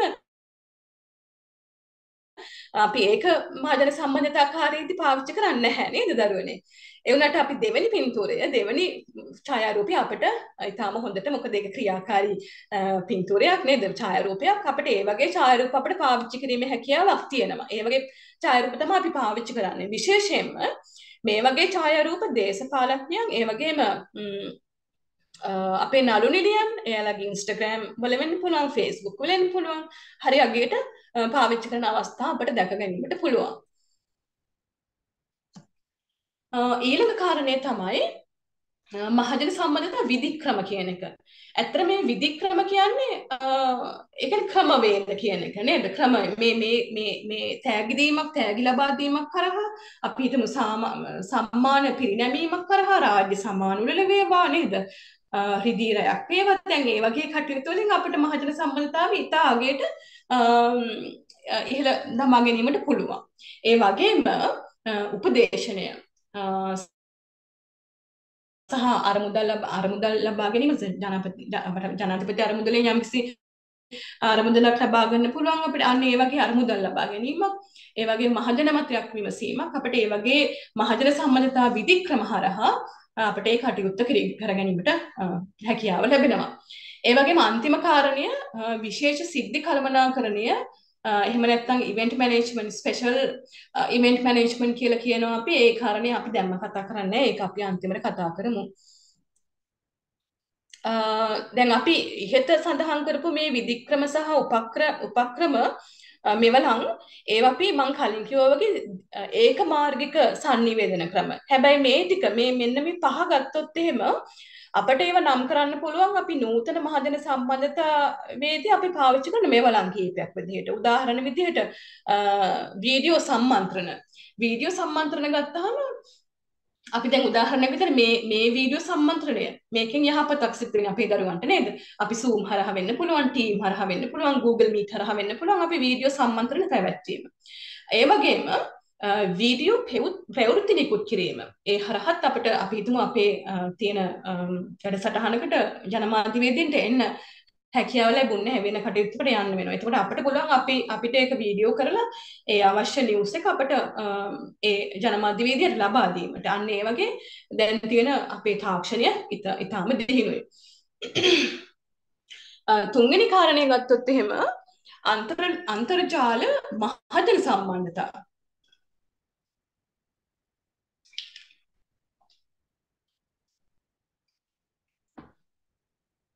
ඇත්තට මේ ගැන කතා කරද්දී වරහන් ඇතුළත් මම දාලා තියෙන වෙබ් කෑස්ටින් ඒ වගේම වෙබ්සයිට්ස් අපිට යාවත් කාලිනි කරන්න පුළුවන් අපේ වෙබ්සයිට් එක ඒ වගේම ඊමේල් හරහා අපිට සම්බන්ධ වෙන්න පුළුවන් අපි හිතමු ආයතනයක් ඒ ආයතනයේ සේවකයන් සහ විදායක නිලධාරීන් එක්ක සම්බන්ධ වෙන්නේ සමහර විට ඊමේල් හරහා වෙන්න පුළුවන්. සමහරට මේ ටෙලිෆෝන් හරහා වෙන්න පුළුවන්. ඒ වගේ ඒ වගේම සෝෂල් මීඩියා නෙට්වර්ක්ස් වලින්. ඉතින් ඒ වගේ අන්තර්ජාල මහජන සම්බන්ධතත් අපිට පාවිච්චි කරන්නට පුළුවන්. ඊට අමතරව විද්‍යුත් මාධ්‍ය කට්ටල ඒ වගේම විද්‍යුත් මාධ්‍ය මධ්‍යස්ථාන කියන මේ බලන් දෙකත් අපට මේ නූතන මහජන සම්බන්ධතා කාර්යයේදී අපට භාවිතා කිරීමට හැකියාව ලැබෙනවා. ඊට පස්සේ මම කැටියෙන් කතා කරන්නම් අපේ දැන් මහජන සම්බන්ධතා නිලධාරියෙක්ගේ එහෙම නැත්නම් අපි කියනවා PRO කියලා public relations office officer කියලා කියනවා. ඉතින් මේ PRO ගේ කාර්යභාරය මොකද්ද කියන එක අපි චුට්ටක් කතා කරමු. ආයතනය හා සම්බන්ධ වන අභ්‍යන්තර හා බාහිර පාර්ශවකරුවන් අතර මනා වූ සම්බන්ධයක් ඇති කරන නිලධාරියා වේ. මේකෙදී අපි මහජන සම්බන්ධතා නිලධාරියෙක් විදිහට අපි අභ්‍යන්තර මහජනයා එක්ක වගේම බාහිර මහජනයා එක්කත් අපිට කටයුතු කිරීමට සිද්ධ වෙනවා. ඒ වගේම මහජන සම්බන්ධතා නිලධාරියා සතුව කුසල කුසලතා සහ ගුණාංග අපි තිබිය යුතුයි කියලා කියනවා නේද? අපි කියනවා මහජන සම්බන්ධතා නිලධාරියා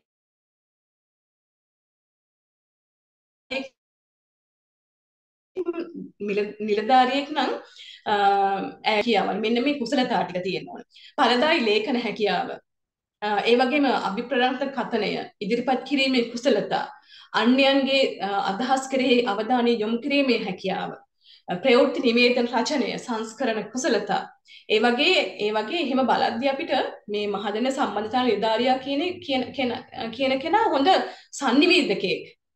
වෙනවා. ඒ වගේම යම්කිසි කෙනෙකුට යම්කිසි බලපෑමක් යහපත් මට්ටමින් බලපෑමක් කිරීමට පුළුවන් පුද්ගලයෙක් විදිහට අපට හඳුන් හැඳින්වීමට පුළුවන්. ඒ වගේම අපි ගුණාංග කතා කරොත් එහෙම කලින් මං කිව්වා වගේ මොකද මේ ආචාර්ය ආචාර්ය සම්බන්ධතා මහජන සම්බන්ධතා නිලධාරියෙක් ආචාර ධර්ම පද්ධතියක් අනිවාර්යෙන් අපි අනුගමනය කරන්න ඕනේ මානුෂික ගුණාංග. අපි ඍජු බව කියලා කියනවා. ඒ වගේම දැන් අපි ප්‍රශ්නයක් ඇති වෙච්චාම ඍජුව උත්තර දීමේ හැකියාවක්. ඒ වගේම ගැටලුවක් ඇති වෙච්චාම මේ ප්‍රශ්නය ඒ ගැටලුව විසඳා ගැනීමේ හැකියාවක්. ඒ වගේ ගුණාංග රාශියක් අපි මහජන සම්බන්ධතා නිලධාරියෙක්ගෙන් අපි බලාපොරොත්තු වෙනවා. ඊට පස්සේ අපි කාර්යභාරය ගැන කතා කරද්දී අර අපි කලින් කතා කරපු මහජන සම්බන්ධතා මේවලන් හා උපක්‍රම තියෙනවානේ ඒවා භාවිතා කිරීමට කියන්නේ ආයතනයේ පරමාර්ථ ඉෂ්ට කර ගැනීම සඳහායි මේවා සඳහා තමයි මේවා පාවිච්චි කරන්නේ. ඉතින් ඒ ගැන හොඳ හැකියාවක් ප්‍රශස්ත මට්ටමේ හැකියාවක් තිබිය යුතුයි. ඒ වගේම ආයතනයේ සිද්ධ කරන ඒ ක්‍රියාවලි ඒ ඒ වැඩසටහන් මේවා ඒ මාධ්‍ය නිවේදන මේවා ඒ හැම දෙයක්ම මහජනතාව අතරට ගෙන යාමට ඒ ගැන පැහැදිලි අවබෝධයක් ලබා දීමට මහජන සම්බන්ධ ඒක තමයි අතරම මේ මහජන සම්බන්ධතා නිලධාරියාගේ මූලික කාර්යය වෙන්නේ. ඒ විතරක් නෙවෙයි මහජන සම්බන්ධතා නිලධාරියා ආයතනය වෙනුවෙන් මහජන සම්බන්ධතා සැලසුම් සකස් කිරීම. ඒක ගොඩක් වැදගත් වෙනවා මොකද සැලසුම් සකස් කිරීම ඒකට යම්කිසි දැනුමක් හා පරිශ්‍රණ සිද්ධ කරලා තියෙන සහ සම්බන්ධීකරණය කිරීම අනිත් අයත් එක්ක සම්බන්ධීකරණය කිරීම. මොකද තනියෙන් කරන්න පුළුවන් දෙයක් නෙවෙයි මහජන සම්බන්ධතා කාරණේ නේද? අනිත් කට්ටියගේ අනිවාර්යයෙන්ම මේ සහයෝගය සම්බන්ධීකරණය අවශ්‍ය වෙනවා. සහ ඒ ඒවට අවශ්‍ය අභිප්‍රේරණය ලබා දීම සිද්ධ කරන්න වෙනවා. ඒ වගේම මහජන සම්බන්ධතා නිලධාරියා ආයතනයේ රැස්වීම් සංවිධානය කිරීම. ඒ වගේ කටයුතු නේද? දැන් අපි ගොඩක් වෙලාවට දේශපාලඥයෝ පවා දැන් එයාලා පාවිච්චි කරන මේ වගේ ඒ කියන්නේ මහජන සම්බන්ධතා නිලධාරීන්. මොකද දේශපාලන සංවිධාන මේ දේශපාලන රැස්වීම් සංවිධානය කිරීමට ඒ අවශ්‍ය මාධ්‍ය ආවරණය ලබා ගැනීමට මාධ්‍ය නිවේදනයකුත් කිරීමට වෙන්න පුළුවන්. උපදේශන සේවාවක් ලබා ගැනීමට වෙන්න පුළුවන්. ඒ වගේම මාධ්‍ය සමග සම්බන්ධතාව පැවැත්වීමට අපි හිතමු දේශපාලන විද්‍යාඥයෙක් මහදල සම්බන්ධතා නිලධාරිය පාවිච්චි කරන්නේ මාධ්‍ය සමග සමීප සම්බන්ධතාවයක් ගොඩ නගා ගැනීමට. මේකෙදි මම තව දෙයක් කියන්නම්. දැන් අපි මහදන සම්බන්ධතා නිලධාරියා කිව්වොත් එහෙම මහර ආයතනය ගත්තහම මහජන සම්බන්ධතා නිලධාරියා මාධ්‍යධාරියා මහජන සම්බන්ධතා නිලධාරියගේ කටයුතු කරන අවස්ථා තියෙනවා. හැබැයි අපි ඉතාම දියුණු ආයතනයක් ගත්තොත් එහෙම මේ කාරණා දෙක මේ කාර්යයන් දෙක ඉෂ්ට කරන්නේ දෙන්නෙක්. මොකද මහජන සම්බන්ධතා කාර්යෂ්ඨ කරන්නේ මහජන සම්බන්ධතා නිලධාරියා මාධ්‍ය හා සම්බන්ධ වැඩ කටයුතු කරන්නේ මාධ්‍ය නිලධාරියා. අන්න ඒකත් අපේ දුවල පුතාලා වෙනමම ඒ කියන්නේ පැහැදිලිව වටහා ගන්න ඕන කාරණයක්. ඊළඟට අපි කතා කරමු මාධ්‍ය නිලධාරිය පිළිබඳව. මේකදී අපේ දුවල පුතාලට දකින්න පුළුවන් විදිහට මාධ්‍ය නිලධාරියා කියන්නේ කවුද? මාධ්‍ය නිලධාරියා කියන්නේ යම්කිසි ආයතනයක හෝ සංවිධානයක බාහිර මහජන සම්බන්ධතා වර්ධනය කිරීම උදෙසා මාධ්‍ය සම්බන්ධතා පවත්වන නිර්ධාරයා ලෙස හැඳින්විය හැකිය. මෙතනදී දැන් අපි කලින් PRO ගැන කතා කරන්නේ PRO ගත්තොත් එහෙම PRO අභ්‍යන්තර මහජනයා එක්ක වගේම බාහිර මහජනයා එක්ක කටයුතු කරනවා. නමුත් මීඩියා ඔෆිසර් කෙනෙක් මාධ්‍ය නිලධාරියෙක් ගත්තොත් එහෙම එයා කටයුතු කරන්නේ බාහිර මහජන සම්බන්ධතා සමග පමණයි. ඉතින් ඒක අපිට ගන්න පුළුවන් ප්‍රධානම වෙනසක් විදිහට PRO සහ MO. PR මහජන සම්බන්ධතා නිලධාරියා සහ මාධ්‍ය මාධ්‍ය නිලධාරියා අතර. මාධ්‍ය නිලධාරියා සම්බන්ධ වෙන්නේ මහජන බාහිර මහජනයත් එක්ක. නමුත් PRO සම්බන්ධ වෙන්නේ අභ්‍යන්තර සහ බාහිර මහජනයත් එක්ක. ඒක විශේෂ දෙයක් විදිහට සටහන් කරගන්න. ඊට පස්සේ තවත් එක වැදගත් කාරණයක් තියෙනවා දරුවනේ. මාධ්‍ය නිලධාරියා මාධ්‍ය ප්‍රකාශක විදිහටත් අපි කටයුතු කරන අවස්ථා අපි දැකලා තියෙනවා. අපි උදාහරණයක් විදිහට පහුගිය දවස්වල නේද ශ්‍රී ලංකා පොලිසියේ කවුද අපි අපි කැමතිම හිටියනේ මාධ්‍ය ප්‍රකාශක කෙනෙක්. ඉතින් අපිට මතකයි හමුදාව ගත්තොත් මේ වගේ ඒ වගේම අපි කොවිඩ් කොවිඩ් කාලේදී කොවිඩ් සම්බන්ධ ඒ අවශ්‍ය ඉන්ස්ට්‍රක්ෂන්ස් එහෙම නැත්නම් මෙඩිකල් ඉන්ස්ට්‍රක්ෂන්ස් වගේ දුන්නේ ඒ මාධ්‍ය ප්‍රකාශක කෙනෙක් ડોක්ටර් කෙනෙක් වෛද්‍යවරයෙක් තමයි දුන්නේ. ඒ වෛද්‍යවරයා තමයි මාධ්‍ය ප්‍රකාශක විදියට වැඩ කටයුතු කරේ. එතකොට මෙතනදි කියන්න ඕන කාරණේ තමයි මාධ්‍ය නිලධාරියා සමහර විට මාධ්‍ය ප්‍රකාශක වෙන්නත් පුළුවන්. හැබැයි සමහර ආයතනවල මාධ්‍ය මාධ්‍ය ප්‍රකාශක වෙනමම ඉන්නවා. ඊට පස්සේ දැන් අපි මාධ්‍ය නිලධාරියක් ගත්තහම ආයතනය පිළිබඳ මාධ්‍ය වෙත සිදු කරනු ලබන විමර්ශනවලදී පිළිතුරු ලබා දීම හා මාධ්‍ය සම්මන්ත්‍රණ ඒ වගේම සාකච්ඡා සඳහා ආයතනය වෙනුවෙන් පිළී සිටීම අපි උදාහරණ කරන් කතා කරමු. අපි හිතමු ඒක කිරි කිරි සමාගමන්නේ කිරි මිල්ක් පවුඩර් සමාගම්.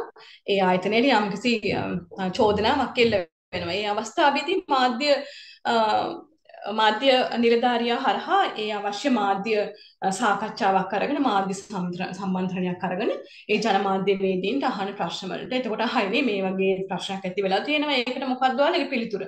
එහෙම මේ ඒ කිරිපිටිවල යම්කිසි එහෙම විෂ සහිත දෙයක් අන්තර්ගත වෙලා තියෙනවද? ඉතින් ඒ අවස්ථාවේදී ආයතනයේට අවස්ථාව ලැබෙනවා. ඒ වෙනුවෙන් පිළිතුරු ලබා දීමට. ඒ අර නැති වෙලාගේ ප්‍රතිරූපය කීර්ති නාමය යළි පණගැන්වීමට හැකියාව ලැබෙනවා මේකෙදී. අන්න ඒ වගේ කාරණයක් තමයි අපි මාධ්‍ය නිලධාරියා විසින් ඉෂ්ට කරන කාර්යභාරය. ඒ වගේම මාධ්‍ය ඇගයීම් වාර්තා සකස් කිරීම. ආයතනය හා සම්බන්ධ ලිපි ලිවීම සහ මාධ්‍ය වාර්තා ප්‍රකාශන බෙදා හැරීම. ඊට අමතරව ආයතනයේ කාර්ය හා නවදැක්ම පිළිබඳව මහජනතාව දැනුවත් කිරීම, තොරතුරු සැපයීම, ඒ වගේම ආයතනයේ මාධ්‍ය හා ප්‍රවර්ධන වැඩසටහන් මෙහෙයවීම සහ පහසුකම් සැලසීම. ඊට අමතරව ආයතනයේ ජනප්‍රියභාවය වෙනුවෙන් මාධ්‍ය ආවරණ අවස්ථා උත්පාදනය කර ගැනීම. උදාහරණයක් විදිහට අපි හිතමු යම්කිසි දේශපාලකයෙක් වේවා කවුරු හරි වේවා මාධ්‍ය නිලධාරියෙක් ඒ තනතුරට කෙනෙක් පත් කරගෙන ඉන්නවා කියලා. ඉතින් එයා එයා එයා සමහරට අතුවිර වෙන්න පුළුවන් බලය වෙන්න පුළුවන්. ඒ දේශපාලන වැඩසටහන් වල ඒ දේශපාලඥයන් වැඩසටහන් ලබා දෙන අවස්ථා අපිට දකින්නට ලැබෙනවා නේ. එහෙම එහෙම දකින්න එහෙම ඒ වගේ අවස්ථාවලට පාවිච්චි කරන අවස්ථා තියෙනවා මාධ්‍ය නිලධාරියා හරහා ඒ අවශ්‍ය මාධ්‍යවරණ ලබා ගැනීම. මම හිතන්නේ අපි එතනින් අපි නවත්තමු මහජන සම්බන්ධතා මහජන සම්බන්ධතා කියන කාරණය. අපි ඊළඟට අපි කතා කරන්න බලාපොරොත්තු වෙන්නේ සිද්ධි කළමනාකරණය ගැන. සිද්ධි කළමනාකරණය ගැන කතා කරද්දී අපි කියනව ඉවෙන්ට් මැනේජ්මන්ට් කියලා නේද? ඉවෙන්ට් මැනේජ්මන්ට් කියපම පොඩ්ඩක් අපේ හිතට යනවා පොඩ්ඩක් සිද්ධි කළමනාකරණයට වඩා. දැන් අපි බලමු සිද්ධි කළමනාකරණයේදී සිද්ධියක් කියන්නේ මොකක්ද කියලා නේද? අපි දන්නවා දැන් මල්සේකර වගේ ශබ්දකෝෂයක් ගත්තාම සිද්ධිය කියන එක කොහොමද නිර්වචනය කරන්නේ කියලා. උදාහරණයක් විදිහට සිද්ධිය කියන එක නිර්වචනය කරන අවස්ථාවක්, ඉසව්වක්, එහෙම නැත්නම් සිද්ධියක් විදිහට. ඉතින් මේ සිද්ධි ඉසව්ව හරි ඒ වගේ දෙයක් කළමනාකරණය කිරීම තමයි සැලසුම් කරන අවස්ථාව තමයි අපිට අපි විශේෂ අපි සිද්ධි විදිහට අපි හඳුන්වන්නේ. සිද්ධි කළමනාකරණ විදිහට අපි හඳුන්වන්නේ. ඒ වගේම මහාචාර්ය පිලිප් කොට්ලට අනුව ඉලක්කගත ග්‍රාහක පිරිසක් වෙත විශේෂිත සංදේශ ගෙන යාමට සැලසුම් කරන අවස්ථා ලෙස සිද්ධි හඳුන්වා දෙයි. එතුමා එහෙම තමයි අපිට කියන්නේ ඉලක්කගත ග්‍රාහකයක් තමයි මේකෙදි අපි මේ ග්‍රාහකයන් තමයි අපි ටාගට් කරන්නේ. ඒකෙදි විශේෂිත සංදේශ තමයි අපි හදන්නේ සහ අපි ඒ අවස්ථාව ලස්සනට සැලසුම් කරනවා. ඉතින් මේකදී අපි ඉවෙන්ට් මැනේජ්මන්ට් වලදී අපි ඒ කටයුතු සම්බන්ධ වැඩ කරන පුද්ගලයාට අපි කියනවා ඉවෙන්ට් මැනේජර් කියලා. එහෙම නැත්නම් අපි කියනවා සිද්ධි කළමනාකරු කියලා. සිද්ධි කළමනාකරු කියන්නේ යම්කිසි සිද්ධියක් නැතහොත් අපි අවස්ථාවක් ගමු අවස්ථාවක් සැලසුම් කිරීම සහ ක්‍රියාත්මක කිරීම. එයා ඒ කාරණා දෙකම ඉෂ්ට කරනවා. ඒ අවස්ථාව සැලසුම් කිරීම වගේම ක්‍රියාත්මක කිරීම. ඇත්තටම අපි මේ සිද්ධි කළමනාකරණ ගැන කතා කරද්දී අපිට මේක හරිම මේ හරිම සමීප දෙයක් නේ අපි අපේ මංගල්‍ය වෙන්න පුළුවන් අපේ දරුවගේ ඉඳුල් කට ගෑම වෙන්න පුළුවන් නේද නමක් නම තැබීම වෙන්න පුළුවන් අකුරු කියවීම වෙන්න පුළුවන් ඒ වගේ සිද්ධි දාමයක් අපේ අපේ පවුලේ ඇතුලේ තියෙනවා අපි ඒවත් එක බැඳලා ඉන්නවා. මේ වගේ සිද්ධි සිද්ධි සමුදායක් අපි සමරනවානේ. අපි බර්ත්ඩේ පාටි එකක් ගත්තත් නේද? අපි මේ වගේ දේවල් සමරනවා. ඉතින් ඒකෙදි මේක මේ කාරණය ගත්තාම මේ සිද්ධි කළමනාකරණය කියන එක අපට අලුත් දෙයක්වත් නෙමෙයි එක පැත්තකින් බලද්දී. නමුත් සිද්ධි කළමනාකරණය කියන එක සැමරීමට වඩා එහා ගිය දෙයක්. සිද්ධි කළමනාකරණය කියන එක දැන් වෘත්තීය මට්ටමට පැමිණිලා තියෙනනේ. ඒ කියන්නේ ඉවෙන්ට් මැනේජර් කෙනෙකුට ඉහළ වැටුපක් ලැබෙනවා. ඒ වගේ වෘත්තීය විදිහට ඒ ඉවෙන්ට්ස් එහෙම නැත්නම් ඒ සිද්ධීන් හරි ලස්සනට කළමනාකරණය කර ගැනීමට විශේෂයෙන් අපි වෙඩින් එකක් ගමු අපි ඒ මංගලෝත්සවය ඒ ලස්සනට ක්‍රියාත්මක කර ගැනීමට අපිට ඉවෙන්ට් මැනේජර් කෙනෙක්ගේ වෙඩින් වෙඩින් ප්ලෑනර්ස්ලා ඉන්නවනේ වෙඩින් ප්ලෑනර්ස්. ඉතින් එයාලගෙන් අපිට ඒ සහයෝගය ලබා ගැනීමට පුළුවන්. දැන් සිද්ධි කළමනාකරණය ගැන කතා කරද්දී අපි සිද්ධි කළමනාකරණයත් අපි පාවිච්චි කරන්නේ ආයතනික හොඳ හිත හා ප්‍රතිරූප වර්ධනය කර ගැනීමට නේ. එක එක පැත්තකින් බලපුවාම. එහෙම තමයි අපි මේ මහජන සම්බන්ධතාවයේ ඉඳලා සිද්ධි කළමනාකරණය කියන එකට එන්නේ ඇත්තටම. මේකදිත් අපි කරන්නේ යම්කිසි හොඳ හිතක් නැත්තම් ප්‍රතිරූපයක් ප්‍රවර්ධනය කර ගැනීම. උදාහරණයක් විදිහට අපි සම්මාන රාජ යක් ගමු නේද? රයිකම් සම්මාන වල වෙන්න පුළුවන් රාජ්‍ය සාහිත්‍ය සම්මාන වල වෙන්න පුළුවන්. ඉතින් ඒ වගේ ගත්තොත් එහෙම ඒකෙන් වෙන්නේ හොඳ හිත. ඒ ආයතනයේ අනුග්‍රාහකත්වය දක්වන ආයතනෙ වෙන්න පුළුවන්. ඒ ආයතනයේ යම්කිසි හොඳ ප්‍රතිරූපයක් ප්‍රවර්ධනය වීමක් තමයි වෙන්නේ. ඒ වගේම සිද්ධි කළමනාකරණය අපි හරි හැටි පාවිච්චි කරනවා නම් කාල කළමනාකරණයක් කරගන්න පුළුවන්. ඒ වගේම අපේ මූල්‍ය කළමනාකරණයක් කරගන්න පුළුවන්. මොකද අපි කලින් අපි බජට් එක හදලා මෙන්න මේවට තමයි උදේ ආහාරයට මෙච්චරක් යනවා. දවල් ආහාරයට මෙච්චරක් යනවා. ඒ වගේ අපිට නවාතැන් පහසුකම් වලට මෙච්චරක් යනවා. එහෙම කියලා අපිට මූල්‍ය ලස්සනට මූල්‍ය කළමනාකරණයක් කරගැනීමට අපට අවස්ථාව ලැබෙනවා. ඒ වගේම යම්කිසි ඒ සිද්ධිය යන අතරතුරේ ක්‍රියාත්මක කරන අතරතුරේ යම්කිසි අර්බුදකාරී තත්ත්වයක් ඇති වුණොත් එහෙම අපි හිතමු අපේ නිවාසන්තර මල් ක්‍රීඩා තරගය පවත්තන අතරතුරේ මේ යම් කිසි කරදරයක් ළමයෙක්ට කරදරයක් වෙන. ඒ කියන්නේ ඒ වෙලාවට අපිට ප්‍රථමාධාර දෙන විදිහක් අපි කලින් තීරණය කළා තියෙන්න වෙයි නේද? අන්න ඒ වගේ දෙයක්. ඒ අර්බුදකාරී තත්ත්වයකදී අපි කොහොමද වැඩ කටයුතු කරන්නේ කියන එක අපි කලින්ම ප්ලෑන් කළා ඒ සැලසුම් කළා තියෙන්න ඕන. ඒ වගේම මේ සිද්ධිය පිළිබඳව මාධ්‍ය මගින් ප්‍රචාරණය ලබා දීම. ඒකත් අපි කළා තියෙන්න ඕන කලින්මනේ. ඊට පස්සේ ආයතනික පාර්ශවකරුවන් දිනා ගැනීම සහ රඳවා ගැනීම රඳවා තබා ගැනීම. ඒ ආයතනයේ අපි හිතමු කවුරු හෝ මහජනය ඒ කට්ටියව අපි රඳවා තබා ගැනීමට ඒ ඒ කටයුතු සිද්ධ කරලා තියෙන්න ඕන. ඊට පස්සේ අපි බලමු මෙතන මම දාලා තියෙනවා ඇත්තටම මේ අවස්ථා වර්ගීකරණයක් පිළිබඳව මම හිතන්නේ මේක අපේ දරුවන්ට වටහා ගන්න පුළුවන් නිසා මම එහෙම කතා කරන්න යන්නේ මේකෙදි. මේකෙදි පවුලේ අවස්ථා සංස්කෘතික අවස්ථා නේද? සුබ ශාද සාදර අරමුදල් එකතු කිරීමේ අවස්ථා ක්‍රීඩා අවස්ථා විශ්‍රාන්තික අවස්ථා කියන විනෝද චාරිකා හැම නේද? අපි විනෝදය උදෙසා කරන මේ අවස්ථාවන්. සංචාරක ආකර්ෂණ අවස්ථා ගෝලීය වෙළඳ ප්‍රදර්ශන අවස්ථා. ඒ ගැන මම වැඩිදුර කතා කරන්න යන්නේ දරුවනේ අද.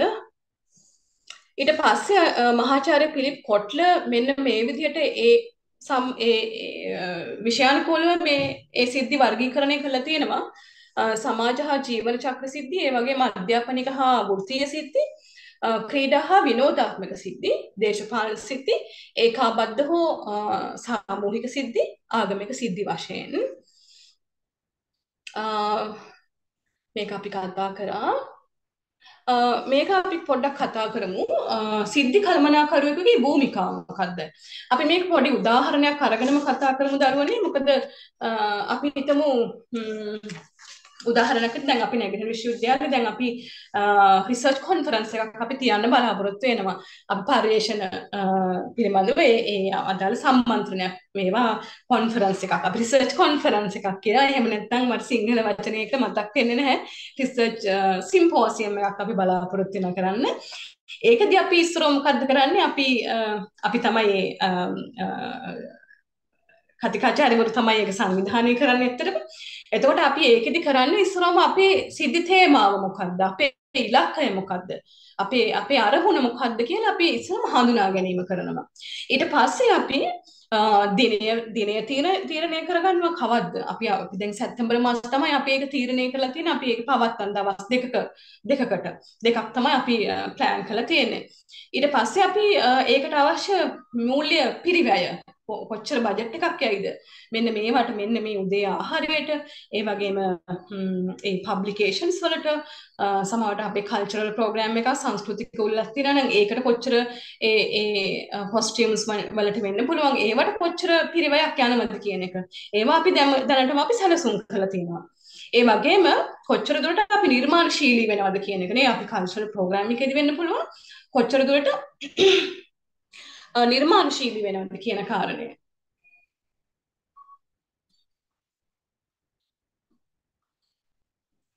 ඒ වගේම අපේ ඉලක්ක කණ්ඩායම් හඳුනා ගැනීමත් අපි සිද්ධ කරනවා මොකද අපේ කොයි පර්යේෂකයන් අපේ මේකට එන්නේ සහ අපි ඒ කටට අපි ඒ අදාළ ඊමේල් යමන එක වෙන්න පුළුවන් ඒ ගැන දැනුවත් කරන එක අපි පෝස්ට් එකක් හදලා තියෙනවා ඒක ෂෙයා වෙනවා Facebook වල අපේ වෙබ්සයිට් එකේ අපි දාලා තියෙන අන්න ඒ වගේ කටයුතුත් අපි කරගෙන යනවා අතරතුරේ ඒ වගේම අපිට මේකට දැන් සමහරට අපි අනුග්‍රාහකයන් අපට අවශ්‍ය වෙනවා. ඒ අදාළ කටයුතු අපිට කරගෙන යාමට සමහරට අපේ මූල්‍ය පිරිමය අපිට මදි වෙන්න පුළුවන්. ඒ අවස්ථාවේදී අපි යම්කිසි අනුග්‍රාහකත්වයක් අපි බැංකු සමාගමෙන් එක වෙන්න පුළුවන්. අපි සමහර රාජ්‍ය ආයතන වෙන්න පුළුවන්. අපි ඒත් එක්කත් අපි ඒ සම්බන්ධතාවය පවත්වාගෙන යනවා.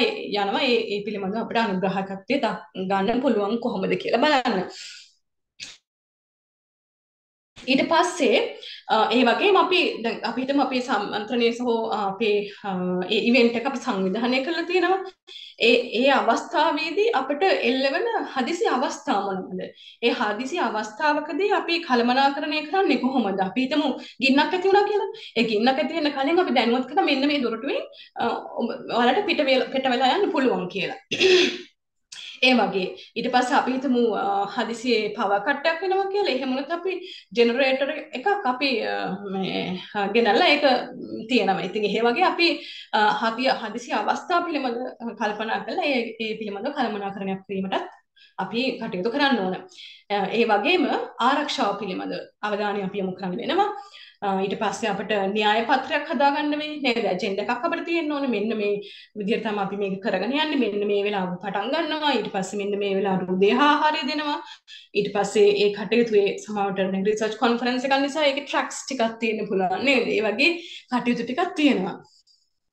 ඊට පස්සේ අපි ස්ථානයක් අපි යුනිවර්සිටි එකේ ස්ථානයක් අපි කලින් අපි වෙන් කර ගැනීම සිද්ධ කරන්න වෙනවා. ඒ වගේ මේකේ ඒ කාර්ය සංවිධානය කියන්නේ එක එක කාර්යන් එක එක කට්ටියට බෙදලා දෙනවා.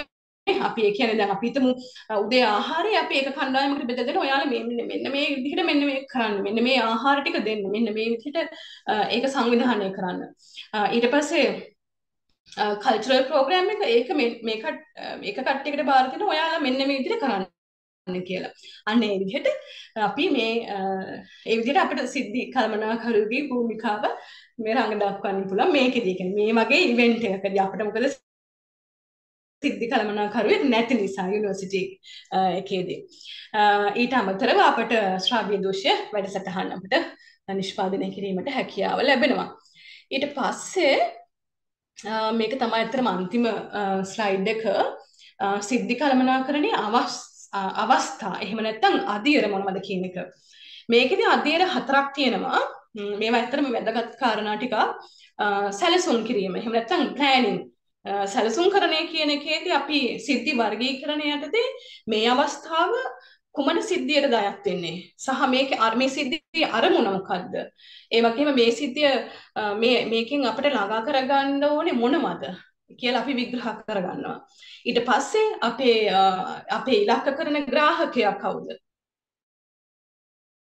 කියන එක අපි මටහා ගැනීම අපි සැලසුම කියන එකේදී අපි කළ යුතුයි. ඊට පස්සේ අපි පිළියෙල කිරීමට පුළුවන් මේ ප්‍රිපරේෂන්ස් අපිට කරන්න පුළුවන් අර මම කලින් කියපු විදිහට. ඊට පස්සේ අපිට විමසීම. විමසීම කියන්නේ check in and reviewing කියන එක නේද? අපිට විමසන්න පුළුවන් ආ ඔයාලා මේක දැන් කරලා ඉවරද? මේක හරියද? මේකේ බජට් එක ඔයාලට ඇතිද?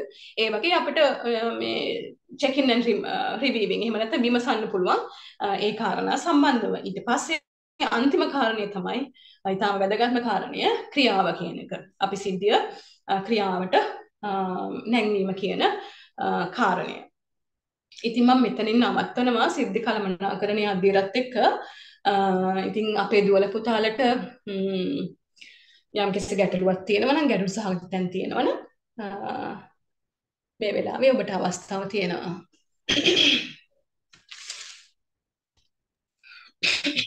බොහොම ස්තුතියි කතිකාචාර්යතුමී අපි බලමු අපි අවස්ථාවක් ලබා දෙනවා අපේ දරුවන්ට යම්කිසි අපේ දේශ කතිකාචාර්යතුමී කතා කරපු විෂය සම්බන්ධව ඔබට යම් පැහැදිලි කර ගැනීමක් සිදු කර ගැනීමට අවශ්‍ය නම් ඒ සඳහා අවස්ථාව වෙනකඩ ලැබෙනවා. චැට් බොක්ස් එකේ ඔබට ටයිප් කරලා දාන්නත් පුළුවන්. දැනට නම් එහෙම දාලා නැහැ. නෑ. එකක් දාලා තියෙනවා මං හිතන්නේ. මම එකක් දැක්කා. මොකද්ද කියලා බලමු. මම හිතන්නේ රාජ්‍ය ප්‍රතිපත්ති ගැන තමයි කතා කරන්න මං හිතන්නේ. මං දැක්ක විදිහටම අපි බලමු එක පොඩ්ඩක්. මං හරියටම දැක්කේ නැහැ.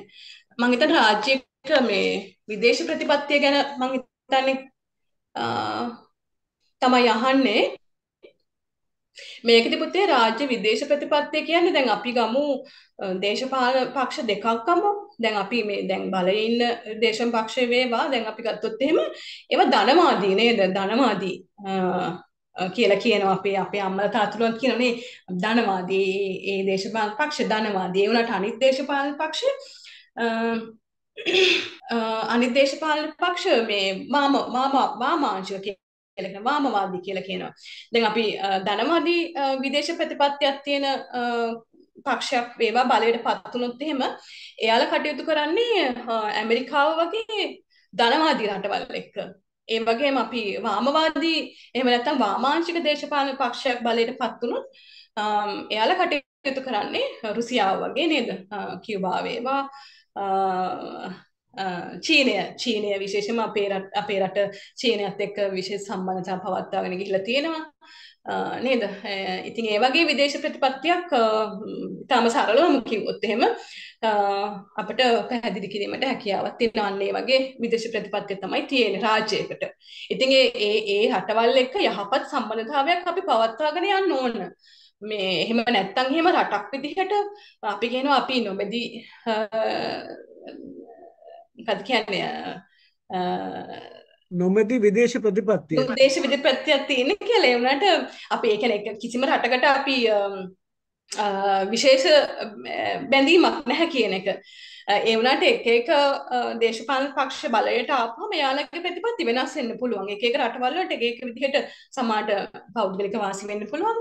එයාලගේ ප්‍රතිපත්ති වෙනස් වෙනවා. ඒ කාරණේ තමයි අපිට රාජ්‍යයක විදේශ ප්‍රතිපත්ති කියන එකේදී අපිට විස්තර කරන්නට පුළුවන්. මං හිතන්නේ පැහැදිලි කිරීම ප්‍රමාණවත් කියලා. ඊට පස්සේ තව ප්‍රශ්න තියෙනවා.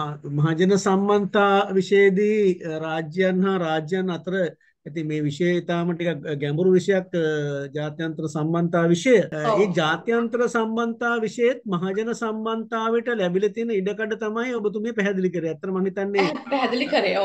ඇත්තට මේවා ගැඹුරු දේවල්. දැන් අපේ අපේ දරුවන්ට අවශ්‍ය ඉතාම සරල විදිහට මේක අපේ විෂය නිර්දේශයත් එක්ක යන්න ඕන නිසා එච්චර ලොකු ගැඹුරකට යන්න ඕන අවශ්‍යතාවයක් නැහැ මම හිතන්නේ. එහෙම නේද අපේ? ඔව්. ඒක ඒ වුණාට මේක දෙයක් තියෙනවා. දැන් ඇත්තටම රටක විදේශ ප්‍රතිපත්තිය කියන එක අර්ථ දක්ව ගත්තොත් රටක විදේශ ප්‍රතිපත්තිය කියලා කියන්නේ ඒ රටේ ජනතාවගේ ජාතික අභිලාෂයන් ජාතික අභිලාෂයන් කියල කියන්නේ හරි පුළුල් අර්ථයක් රටක ජාතික අභිලාශය කියන්නේ නැශනල් ඉන්ට්‍රස් කෙනෙක තමයි කියන් ජාතික අභිලාශය කියන මිනිස්සුම් හිතන ශ්‍රී ලාංකික ජනතාවගේ සිතුම් පැතුම් සහ ශ්‍රී ලාංකික ජනතාවගේ අපේක්ෂාවට තමයි ජාතික අභිලාශය කියල කියන්නේ. ඒක ශ්‍රී ලංකාවට අනන්‍යයි. ඒ අනන්‍යතාවය අනුව ශ්‍රී ලංකාවේ විදේශ ප්‍රතිපත්තිය සකස් කරගන්නවා.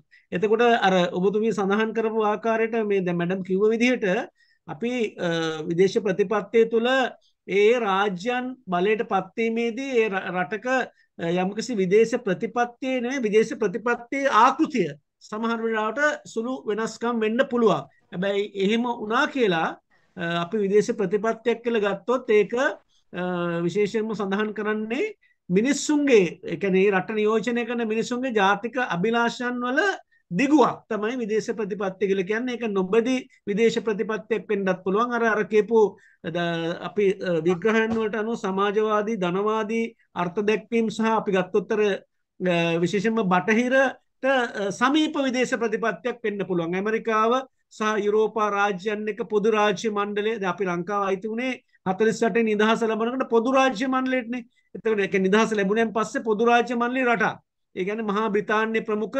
විශේෂයෙන්මර බ්‍රතාන්‍ය කීටයට ඇත්ත තිබ රටවල්වල නිදහස ලබාගත්තයෙන් පස්සේ බ්‍රතාන්‍ය ආකෘතියට අනුව බ්‍රතාන්‍ය රජයේ විදේශ ප්‍රතිපත්තියට අනුව පොදුරාජ්‍ය මන්ඩි රටවල්ලට නිදහස ලැබූ රටවල් එකතුවෙනවා තකට අපිත් ඒ ඇත්තම සාමාජික රට ඊට පස්සේ අපි නොබදි විදේශ ප්‍රතිපත්තියක් අනුගමනය කරන්න පෙළමුණ නොබද විදේශ ප්‍රතිපත්තියක් කන්න අපි කිසිම කඳවුරකට නැදම කැන්නේ හතරිස් අපි ගත්තොත්හෙම දෙවන ලෝක යුද්ධෙන් පස්සේ ලෝක රාජ්‍යන් බෙදනව කඳවුරුවාදයකට. ඒ කඳවුරුවාද තමයි අපේ මද මැඩම් පැහැදිලි කරේ අර ධනවාදි කඳවුර සමාජවාදී කඳවුර. ධනවාදි කඳවුර ඇමරිකාව ප්‍රමුඛ බටහිර රටවල් විශේෂෙන්ම යුරෝපිය රටවල් උතුර යුරෝපිය කෙනෙ ධනවාදී රටවල් එකතු වෙලා අපි දැන්ව යුරෝපියන් කොමිෂම ඒවගේ ගත්තොත්හෙම ඇමරිකානු රාජ්‍ය විශේෂයෙන්ම මැදිහත්වීමත් එක්ක සමීප රටවල් සම්බන්තාවක් ගොඩ්නගත්තහම ධනවාදී රටවල්ලොල එකතුට කියනවා අපේ ධනවාදී කඳවුරට අයිති රටවල් කියලා. ඒවගේම රුසියාව ප්‍රධාන කරගත්ත කඳවරත් තියෙන එක නැගෙනහිර යුරෝපිය රටවල් සමාජවාදී රටවල් කමනිස්වාදය සහ බොහොම සමාජවාදත් එක්ක ව්‍යාපත වෙච්චි රටවල්. ඒකත් අපි කියන සමාජවාදී කඳවර. ධනවාදී කඳවරටත් සමාජවාදී කඳවරටත් අයිති නොවෙන ස්වාධීනව කටයුතු කරන්න ලෝකේ රාජ්‍යන් තියෙනවා. ඒගොල්ලෝ කඳවුරුවාදයක් තුළ ඍජුව මැදිහත් වෙන්නේ අපිටත් තිබෙහිම විදේශ ප්‍රතිපත්තියක්. අපි ඒකට කියනවා නොබෙදි විදේශ ප්‍රතිපත්තිය කියලා.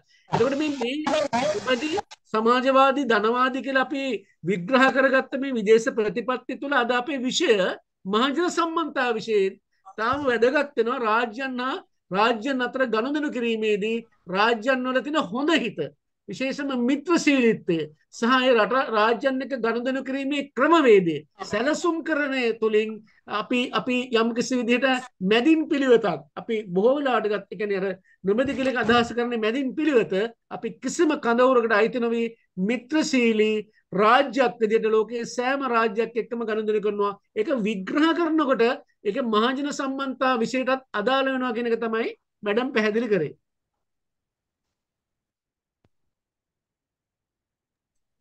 මහිතන්නේ තව කාරණා කීපයක් ඔබතුමීට පුළුවන් අනෙක් චැට් බොක්ස් එකේ තියෙනවා මම හිතන්නේ. ඔව්. ඒකේ ප්‍රශ්න මන්ට පේන්නේ නැහැ. ගෲප් ලින්ක් එකක් දෙන්න පුළුවන්ද මිස් කියලා දාලා තියෙනවා. රෙකෝඩින් එක ගන්න පුළුවන්ද කියලා දාලා රෙකෝඩින් එක අපි කොහොමත් ඔබට ලබා දෙනවා. මම හිතන්නේ අද ඊටාම වැදගත් මාතෘකාවක් කතා කරේ ඩාබර සිසු දරුදැරියනි මේක ඊටාම හොඳ විෂයක්. නූතන විශේෂයෙන්ම sannivedana ප්‍රවේශය තුළ මහජන සම්බන්ධය සහ සිද්ධි කළමනා කරන විෂය කියන්නේ ඉතාමත්ම වැදගත්. එකන සංවිධන විශේෂේත්‍රයේ විශේෂෙන්ම අපි දැකද කතා කරපු මේක සන්නිධන විග්‍රහයන් වලදී අපි ගත්තොත් එහෙනම් බිස්නස් කමියුනිකේෂන් එහෙම කතා කරනකොට මේ PR මහජන සම්බන්ධතාව කියන විශේෂ විෂය කොතරම් පුළුල්ද මේ විෂය ඉගෙන ගැනීම තුළ අනිකුත් විෂයන්නා සම්බන්ධවීමේදී විවිධ වෘත්තීන් අතර තියෙන සාර්ථක සංනිවේදකෙක් වීමට මේ විෂයේ තියෙන අවබෝධය ඉතාමත් වැදගත්. අපි විශේෂයෙන්ම සාමාන්‍ය පෙළ සහ උසස් පෙළ විෂය නිර්දේශර්ථය මේක සාමාන්‍ය විදිහට අපි ඉගෙන ගන්නවා. නමුත් මේක විශ්වවිද්‍යාල මට්ටමින් ඒ වගේම පශ්චාත් උපාධි මට්ටමින් විශේෂ උපාධි මට්ටමින් ඊටාම ප්‍රබල විෂයක් විදිහට ලෝකේ විශාල වටිනාකමක් තියෙන විෂයක් තමයි අද ඔබට මේ මැඩම් පැහැදිලි කරලා දුන්නේ. මං හිතන්නේ ඒ හින්දා ඊටාම හොඳ කරුණු කාරණා ටිකක් අපි ඉගෙන ගත්තා. මං හිතන්නේ එතුමීට අපි ස්තුතිවන්ත වෙන්න ඕන මේ කාලේ වැය කරමින් මේ වටිනා දේශනය ඔබට ලබාදීම සම්බන්ධව ඒ නිසා මං ස්තුතිවන්ත වෙනවා මේ දේශනය පැත්තිම සම්බන්ධ තව ඔබට කරුණු පැහැදිලි කර ගැනීමට අවස්ථාවක් තියෙනවා. මේ තවත් අපිට ඔබට අවස්ථාවක් දෙන්න පුළුවන්. අපිට ගුරුවරුන්ටත් අවස්ථාවක් දෙන්න පුළුවන්. මේ අවස්ථාවේදී මම හිතන්නේ ප්‍රයෝජන අරගෙන යම්කිසි ඔබට යම් කරුණු කාරණා සම්බන්ධයෙන් අපේ ජ්‍යෙෂ්ඨ කතිකාචාර්යතුමියගෙන් විමසනවා නම් මම බොහොම කැමතියි. එහෙම නැත්නම් අපි මෙතුමීගේ දේශනය සම්බන්ධව අපි එතුමීට ස්තුති කරලා අපි මේක අවසන් කරමු. තව අවස්ථාවක් දෙන්නම් විනාඩි 3-4ක් ඇතුළත ඔබට යම්කිසි ගුරු විශේෂම ගුරුවරුන්ට ඉල්ලීමක් කරන්න කැමතියි. යම් කරුණ කාරණා පිළිබඳව පැහැදිලි කර ගැනීමක් තියෙනවා නම් ඒකට අවස්ථාව දෙන්න පුළුවන්. ඒ වගේම මේ අපේ දරුවෝ මේ ගෲප් ලින්ක් එක එහෙම ඉල්ලලා තියෙන නිසා මම මගේ ඊමේල් ඇඩ්‍රස් එක මම දාලා තියෙනවා. ඒ වගේම ටෙලිෆෝන් නම්බර් එක අපේ දරුවන්ට කිසියම් ගැටලුවක් තියෙනවා නම් මට ඊමේල් එකක් දාන්න පුළුවන්. නැත්නම් මට WhatsApp එකට පොඩි මැසේජ් එකක් දාන්න පුළුවන්. මම මට ඒ කාරණා ගැන පැහැදිලි කිරීමක් කරන්නට පුළුවන්. ඔබට ගැටලුවක් ඇති වෙච්ච අවස්ථාවක. එහෙම නේද අපේ ඔව් මං හිතන්නේ ඔව් අපිට විස්තර දෙන්න පුළුවන්. මේ මේ ඒක බොහොම ස්තුතියි. මේ අපිට ඉදිරියේදී අපි තවත් සම්බන්ධව වැඩ කරමු. මේ එහෙමනම් අපි පණිවිඩ ටිකකට මම යන්නම්. මේ අතරතුර මං හිතන්නේ අපි අපේ දයාබර ගුරුවරුන්ට සහ අපේ ශිෂ්‍ය දරුවන්ට පොඩි පණිවිඩ ටිකක් මම පැහැදිලි කරන්නම්. ජනමාධ්‍ය අමාත්‍යාංශයේ රජයේ ප්‍රවෘත්ති දෙපාර්තමේන්තුවේ පාසල් මාධ්‍ය සමාජ ප්‍රවර්ධන ජාතික වැඩසටහනේ අපි මේ වන විට අපේ කෘතිම බුද්ධි හා ජනමාධ්‍යකරණය පිළිබඳව ගුරුවරුන් පවත්වන මාසික දෙවන වැඩමුළුව තියෙනවා මේ මාසය අපි දැන් මේ වෙනකොට ලියුම් ඔබට මම හිතන්නේ ලැබෙන්නත් ඇති ලියුම් පෝස්ට් කරලා තියෙනවා. මම හිතන්නේ 17 වෙනිදා තමයි තියෙන ධනේෂේ ඉන්නවද? ඔව් සර් ඔව්. 17 නේද දෙන්නේ? අපි උදේ 9 උදේ 8ම 9 ඉඳන් හවස 3 වෙනකම් 17 නේද? හරි නේද? දිනේ? ඔව් සර් 17 වෙනිදා තියෙනවා මේ මං හිතන්නේ ඔබට ලිපි අවල ඇති දයාබර ගුරු බවතුනි මේ විශේෂයෙන්ම ගම්පහ කොළඹ ලංකාව හැමතැනටම අපි 150කට ආසන්න ගුරුවරු ප්‍රමාණයක් තෝරගෙන අර ගිය මාසේ තිබුණා අපේ කෘතිම බුද්ධි හා ජනමාධ්‍යකරණය පිළිබඳ වැඩමුළුව. ඒකට සහභාගී වුණා ගුරුවරු 135ක් විතර. මේ පාර 150ක් විතර සහභාගී වෙනවා. ඒ වගේම ඒ සහභාගන ගුරුවරුන්ට සංයෝජන පොත් කට්ටලයක් රජයේ ප්‍රවෘත්ති දෙපාර්තමේන්තුවේ පාසල් මාධ්‍ය සමාජ ජාතික වැඩසටහනෙන් ඔබට ලබා දෙනවා. ඒ සඳහා අපි WhatsApp group එක හරහා මේ වෙනකොට දැනුවත් කරලා තියෙනවා. ඒක සම්බන්ධීකරණය කරනවා පියුමි මෙනවිය, මිනෝලි මෙනවිය සහ අපේ ධනේසි සෙනවිරත්න මෙනවිය සහ ඉරේ ඉලුක්ෂි ඒ කියන හතර දෙනා තමයි මේ පාසල් මාධ්‍ය සමාජ ජාතික වැඩසටහන මෙහෙවන්නේ. ඔවුන්ට ඒ අදාළ තොරතුරු ලබාදීල අවශ්‍ය සහයෝගය ලබා දෙන්න ඒ කාරණාව පණිවිඩයක් ඒ වගේම අපි මේ වන විට පාසල් මාධ්‍ය සමාජ ජාතික ප්‍රවර්ධන වැඩසටහනේ දරුවන්ගේ නිර්මාණ කෙටිකතා ඒ වගේම කෙටි චිත්‍රපට පිළිබඳව අපිට ලැබිච්ච කෙටිකතාවලින් සහ කෙටි චිත්‍රපටි වලින් කැලණි විශ්වවිද්‍යාලයේ ජේෂ්ඨ කතිකාචාරය ආචාරය අරුණ ලොකුලියන මහතා සහ අපේ චින්තක විදේශ කතිකාචාර්තුමාගේ මූලිකත්තෙන් ඒ විදිශ්ෂ කටයුතු දැන් කෙරල ඉවරයි. අපි ඔබේ සහතික පත් මුද්‍රණය කල තියෙන මහිත ලබන මාස විතරෙනකොට අපිට සහතික ප්‍රධානය උත්සවේ තියන්න පුළුවන් වෙයි. ඒ කාරණාවත් ඔබට පණිවිඩයක්. ඒවගේම ඡායරූප මාධ්‍ය සමාජ හරහා ඡායරූප තරගේ අපි මේ අවුරුද්ධ සංවිධානය කරනවා. ඊට අමතර විශේෂයෙන්ම කියන්න ඕන පාසල් මාධ්‍ය සමාජ ජාතික ප්‍රවර්ධන වැඩසටහන ඉතාම විශේෂෙන් පාසල් සම්බන්ධයෙන් පාසල් මාධ්‍ය සමාජ සම්බන්ධයෙන් ඉහළ තැනකට අද මේ වැඩසටහන ගමන් කරල ලංකාවේ පළවෙනි වරට ෘතිය මාධ්‍ය ජනමාධ්‍යවේදින් සඳහා පවත්වන ජනමාධ්‍ය මාත්‍යංශ විසින් පවත්වන මාධ්‍ය සම්මාන උලලේ ඒකන්නේ ජනාධිපති සම්මාන උලලේ තරඟ හතර එකන්නේ විශේෂම තරඟකාරි මට්ටමෙන් සම්මාන හතරක් පාසල් මාධ්‍ය සමාජ ජාතික වැඩසටහන්ට පාසල් දරුවන්ට වෙංගල තියෙනවා. ඔවුන්ගේ නිර්මාණවලට සහ පාසල් මා සමාජ ගුරුවරුන්ට. හොඳම සංයෝධන පාසල් මාධ්‍ය සමාජ ගුරුවරයා හොඳම පාසල් මාධ්‍ය සමාජය හොඳම නිර්මාණාත්මක සංයෝධන කුසලතා තියෙන සිසු දරුවා. මෙන මේ වගේ ජනාධිපති සම්මාන හතරක් සඳහා ජනමාධ්‍ය අමාත්‍යංශී ලේකම්තුමන් සහ ජනමාධ්‍ය අමාත්‍යතුමන් මේ කාරණාව සම්බන්ධයෙන් විශේෂම පාසල් මාධ්‍ය සමාජ ජාතික වැඩසටහන්ට විශේෂ අවස්ථාවක් ලබාදීල් තිබෙනවා. මේ වසරේ පැවැත්වෙන ජනාධිපති සම්මාන උලලේ ජනමාධ්‍ය සම්මාන උල්ලේ ඒ අපි ලංකාවේ හැම පාසලකට මේ තරංකාරි මට්ටමින් මේ සම්මාන හතර ලබා ගැනීම විශේෂෙන්ම ජනාධිපති සම්මානයක් ලබා ගැනීම මාධ්‍ය විෂයන් සම්බන්ධව ඉතාමත්ම වැදගත්වෙනවා අපි දාබර ගුරුවරන්ට හොඳ පණිවිඩයක් ඒවගේම සිසුන් උනන්දු කරන්න සිසුන්ගේ නිර්මාණාත්මක කුසලතා සම්බන්ධින් අපි අම්පාර්දිශ්චික්කේ දරුවන්ට මේ වෙනකොට අපි අර බිත්ති පුවත්පත් ලබාදීම ආරම්භ කල තින ඒවගේම අපිට බොහෝ පිරිස් මේ බිත්ති පුවත්පත් පාසලට ලබාදීමට අපිට ඉදිරිපත් කළ තියෙනවා ඒ අනුව අපි ඉදිරියේදී ඔබට අවශ්‍යයේ පහසුකම් ටික ජනමාධ්‍ය අමාත්‍යංශ තුළින් රජ ප්‍රෝධ්‍ය පාර්මෙන් තුළින් අපි ලබාදීමට කටයුතු කරන ගුරුවරුන් පුහුණු වැඩසටාන යටතේ අපි කොයිකා ව්‍යාපතියට අපි මිකන ව්‍යාපති වාර්තාවක් ලබල දිතින අපි ගුරුවරුන් දහසක් පුහුණු කිරීම සම්බන්ධව. ඒ අයි තාක්ෂණයට නැත්තං ආඩිවිශල් ඉන්ටලිජන් කෘතිම බුද්ධිය හා ජනමාධ්‍ය කරණය එය ඔවුන් ප්‍රතිපත්තියක් විදිහට ඒ දැන් අධ්‍යයනය කරන්න යනවා. ඒ සඳහා ඔවුන්ගේ අපි විශ්වාස කරනවා යම්මාකාරෙන් කොයිකා ඒ වැඩසටහනෙන්ගේ ව්‍යාපති වාර්තාව අනුමතකරොත් ඔබ ලංකාවේ පාසල් මාධ්‍ය සමාජ ගුරුවරුන් දහසකට පුහුණුව ලබා දෙන්න පුළුවන්. අපි ඒ පුහුණුව නිලවසෙන් ලැබෙන තුරු රජ ප්‍රෞෘති පාර්මේන්තුව ගුරුවරෙන් පුහුණු කිරීම ආරම්භ කරලා තිනවා. ඒක දෙවැනි වැඩසටහන තමා මේ දහත් එන්න පවත්වන්නේ. ඒවගේම යුනෙස්කෝ අධ්‍යශ්ෂන්ඩාල්වරයා එකන්නේ ප්‍රන්සේ ජාත්‍යන්තර යුනෙස්කෝවේ යුනෙස්කෝ අධ්‍යශ්ෂන්ඩාල්තුමන් මේ දාහත්තෙන්ද ජූලි දාහත ලංකාවේ සංචාරය කරනවා. අධ්‍යාපන අමාත්‍ය තුමාන්ගේ ආරාධනය පරිදි එන්සා අධ්‍යාපන අමාත්‍යංශයර්තය තමයි තින ජාතික යුනෙස්කෝ ලේකම් කාර්යාලය. ජාතන්ත්‍ර යුනෙස්කෝවේ අනුබද්ධා ඇතන ශ්‍රී ලංකාව අධ්‍යාපන අමාත්‍යංශයේ මෙහෙවන යුනෙස්කෝ ව්‍යාපතියටතේ එතුමා සහභාගෙනවා ඒ සඳහා මේ වනකොට සිලු සූදානම් කටයුතු තියෙනවා. නිසා අපි මාධ්‍ය ශාස්ත්‍රතා සම්බන්ධයෙන් අපි ජාත්‍යන්ත්‍ර යුනෙස්කෝට මේ වැඩසටහන පිළිබඳව විදිමත් දැනුවත් කිරීමක් කිරීමට මේ අවස්ථාවක් කරගන්නවා. එනිසා මාධ්‍ය සාක්ෂතා පිළිබඳවත් ඉදිරියේදී පාසල්වලට විශාල මං හිතාන ජාත්‍යන්ත්‍ර යුනෙස්කෝවෙන් අපිට ලොකු වැඩක් ඉදිරිදි කරන්න පුළුවන් වෙයි පාසල් මාධ්‍ය සාක්ෂතාව ප්‍රවර්ධනය කිරීම සම්බන්ධව.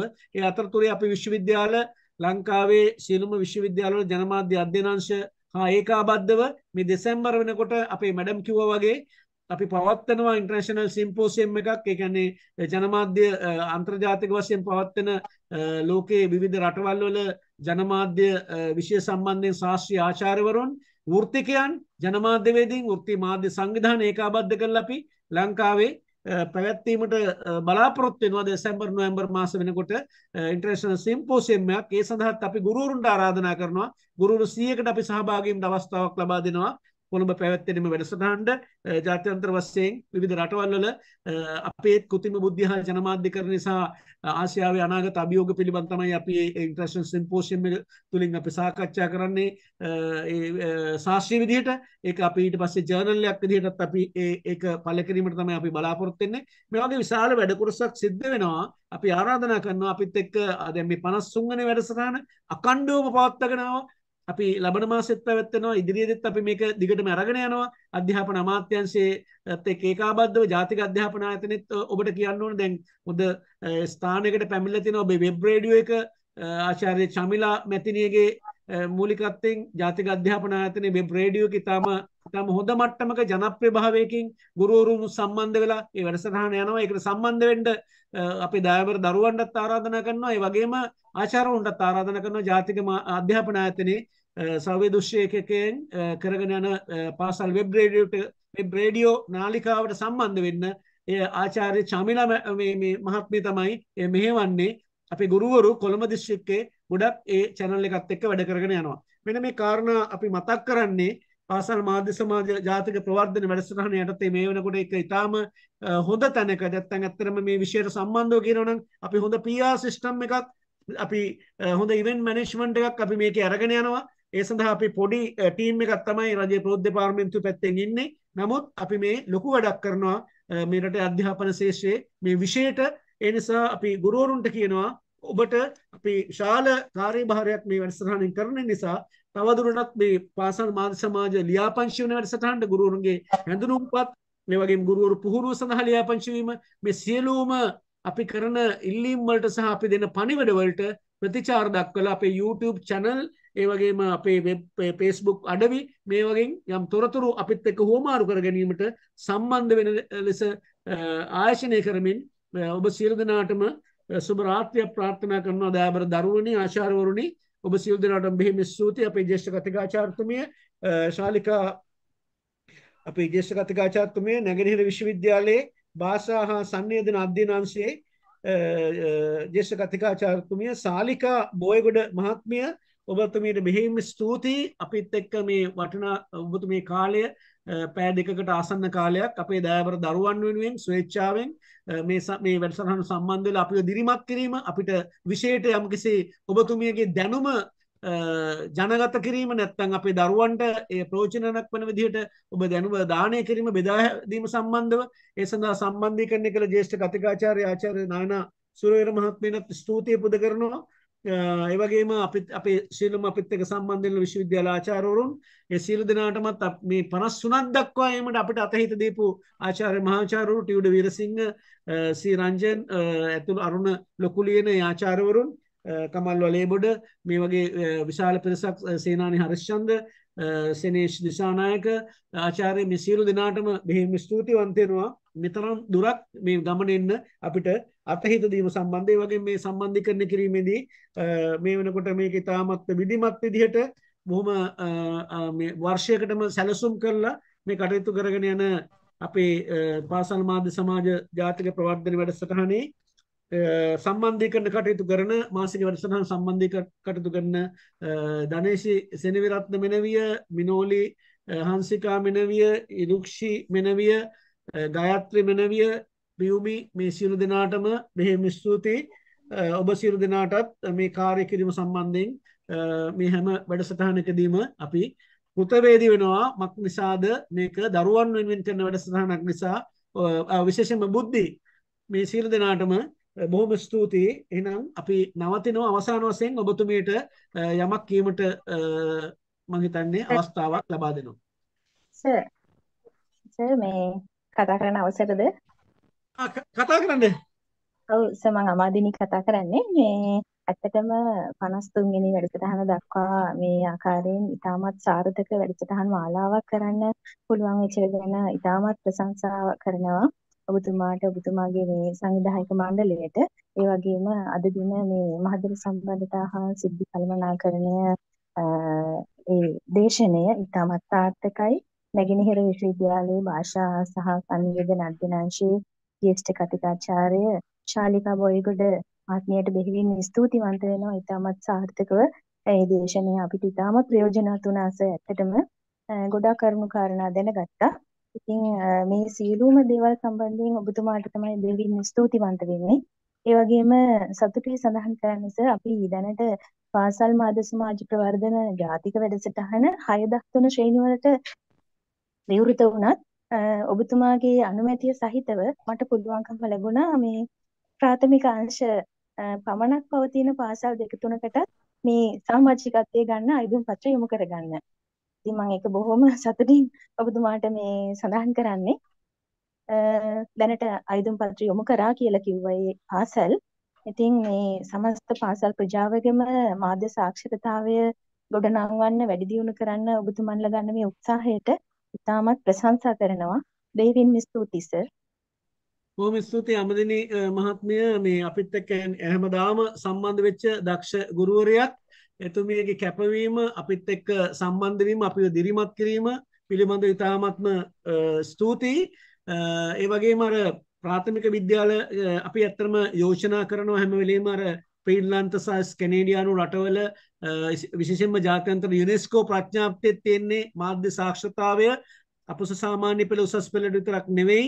ඇතරම පාසල් දරුවන්ගේ ප්‍රාථමික මට්ටමේ සිට සංවේදන කුසලතා කියන විෂය ලෝකයේ වඩි වටිනාකමක් සහිතව පාසල් පද්ධතියට ලබා දෙන පාසල් දරුවන්ට අපිත් ඇත්තරම එක උනන්දු කරනවා දිරිමත් කරනවා. ජාතන්ත්‍ර යුනෙස්කෝවෙන් එහෙම හඳුන්වාදීමක් කරලා තියෙන නිසා අපි ඇත්තටම මේ අපි ප්‍රාථමික සහ මේ දිවිතිය පාසල් ඒ කුමන පාසලකින් සංවේදන සම්බන්ධයෙන් අපෙන් උපදෙස් පැතුවත් අපි ඔවුන් දිරිමත් කරලා මේ පාසල් මාධ්‍ය සාක්ෂතාවය ජනගත කිරීම සඳහා අපි අවශ්‍ය සහයෝගය ලබා දෙනවා. එසේම එසේනම් බොහොම ස්තුතියි. මැතිනිය ඔබතුමීට යමක් කීමට අවසාන වශයෙන් අවස්ථාවක් තියෙනවා. ඔව් මමත් බෙහෙවින්ම ස්තුතිවන්ත වෙනවා අපේ ආචාර්ය හර්ෂ බේකන් මැතිතුමාට වගේම අපේ නයනසුර වීර කතිකාචාර්ය කතිකාචාර්ය තුමියත් මං ආදරෙන් අද සිහිපත් කරනවා. නැවතත් ඒ වගේම අපේ ආදරණීය ගුරු බවතුන් ඒ වගේම අපේ දුවල පුතාලා ටික ඒ වගේම එයාලා ලස්සන මේ කමෙන්ට්ස් ටිකකුත් මට දාලා තියෙනවා. මේ ඉතින් ඒකෙන් ඇත්තටම මේ දිරිමත් වෙන එක තමයි අපි නේද? ඉස්සරහට දිරිමත් වෙන මේ වගේ වැඩ කටයුතු ඉස්සරහට කරගෙන යාමට. ඉතින් හරිම සතුටුයි. මේ වගේ කමෙන්ට්ස් දකිද්දි මේ වගේ දිරිමත් කිරීමෙන් දකිද්දි නේද? ඉස්සරහදී අපි හම්බ වෙමු නේද? අපේ සමහරට අපේ දරුවන් අපේ නැගෙනහිර විශ්වවිද්‍යාලයටත් එයි. ඉතින් එතකොටත් අපි හම්බ වෙමු. ඉතින් ඔබ සැමට අපි නැගෙන සුබරාත්‍රියක් ශාලිකා මැඩම් අපි නැගෙනහිර විශ්වවිද්‍යාලදී අපි අපි කැමති දැන් මම රඝුරාම් මැතිතුමත් එක්ක ප්‍රොෆෙසර් රඝුරාම් යාපන විශ්වවිද්‍යාලය ඒ වගේම අපේ පොංගුලි ජේෂ්ඨ කතිකාචාර්යතුමිය අපි මේ හැම විශ්වවිද්‍යාලයක් එක්කම බොහොම ළඟින් කටයුතු කරනවා. අපි දකුණේ ළමයි ටිකක් අරගෙන අපි ওই විශ්වවිද්‍යාලයට ඇවිල්ලා වැඩමුළුවක් කරමු එක දවසක ඒ වගේම මම යාපනෙත් ඇරයන්න බලාපොරොත්තු වෙන හැම ටීම් එකක්. අපි දරුවන් උතු කියන්නේ දකුණේ දරුවන් මේ විශ්වවිද්‍යාල දෙකට අරගෙන ගිහිල්ලා සංනිවේදනය පිළිබඳ එක දවසක වැඩමුළුවක් කරන එක. උතුරේ සහ ඔය නැගෙනහිර විශ්වවිද්‍යාලයේ දරුවන් අපි කොළඹට ගෙනල්ලා වැඩසටහනක් කරමු. බොහොම ආදර්ශමත් වැඩසටහනක්. ඒ සඳහා අපි බොහොම සමීපව ඉදිරියේදී වැඩ කරමු කියලා ආයෝජනය රාත්‍රියක් ප්‍රාර්ථනා කරන රසික ඔබටත් බෙහෙවින් ස්තුතියි. අපේ විස්මිත ආයතනයේ මේ මේ අපේ තාක්ෂණික සම්බන්ධීකරණය කරන අපේ සහෝදර රසික මැතිතුමා එතුමාටත් බොහොම ස්තුතියි. එසේනම් අපි සමුගන්නවා සුබ රාත්‍රියක්. රාත්‍රියක්.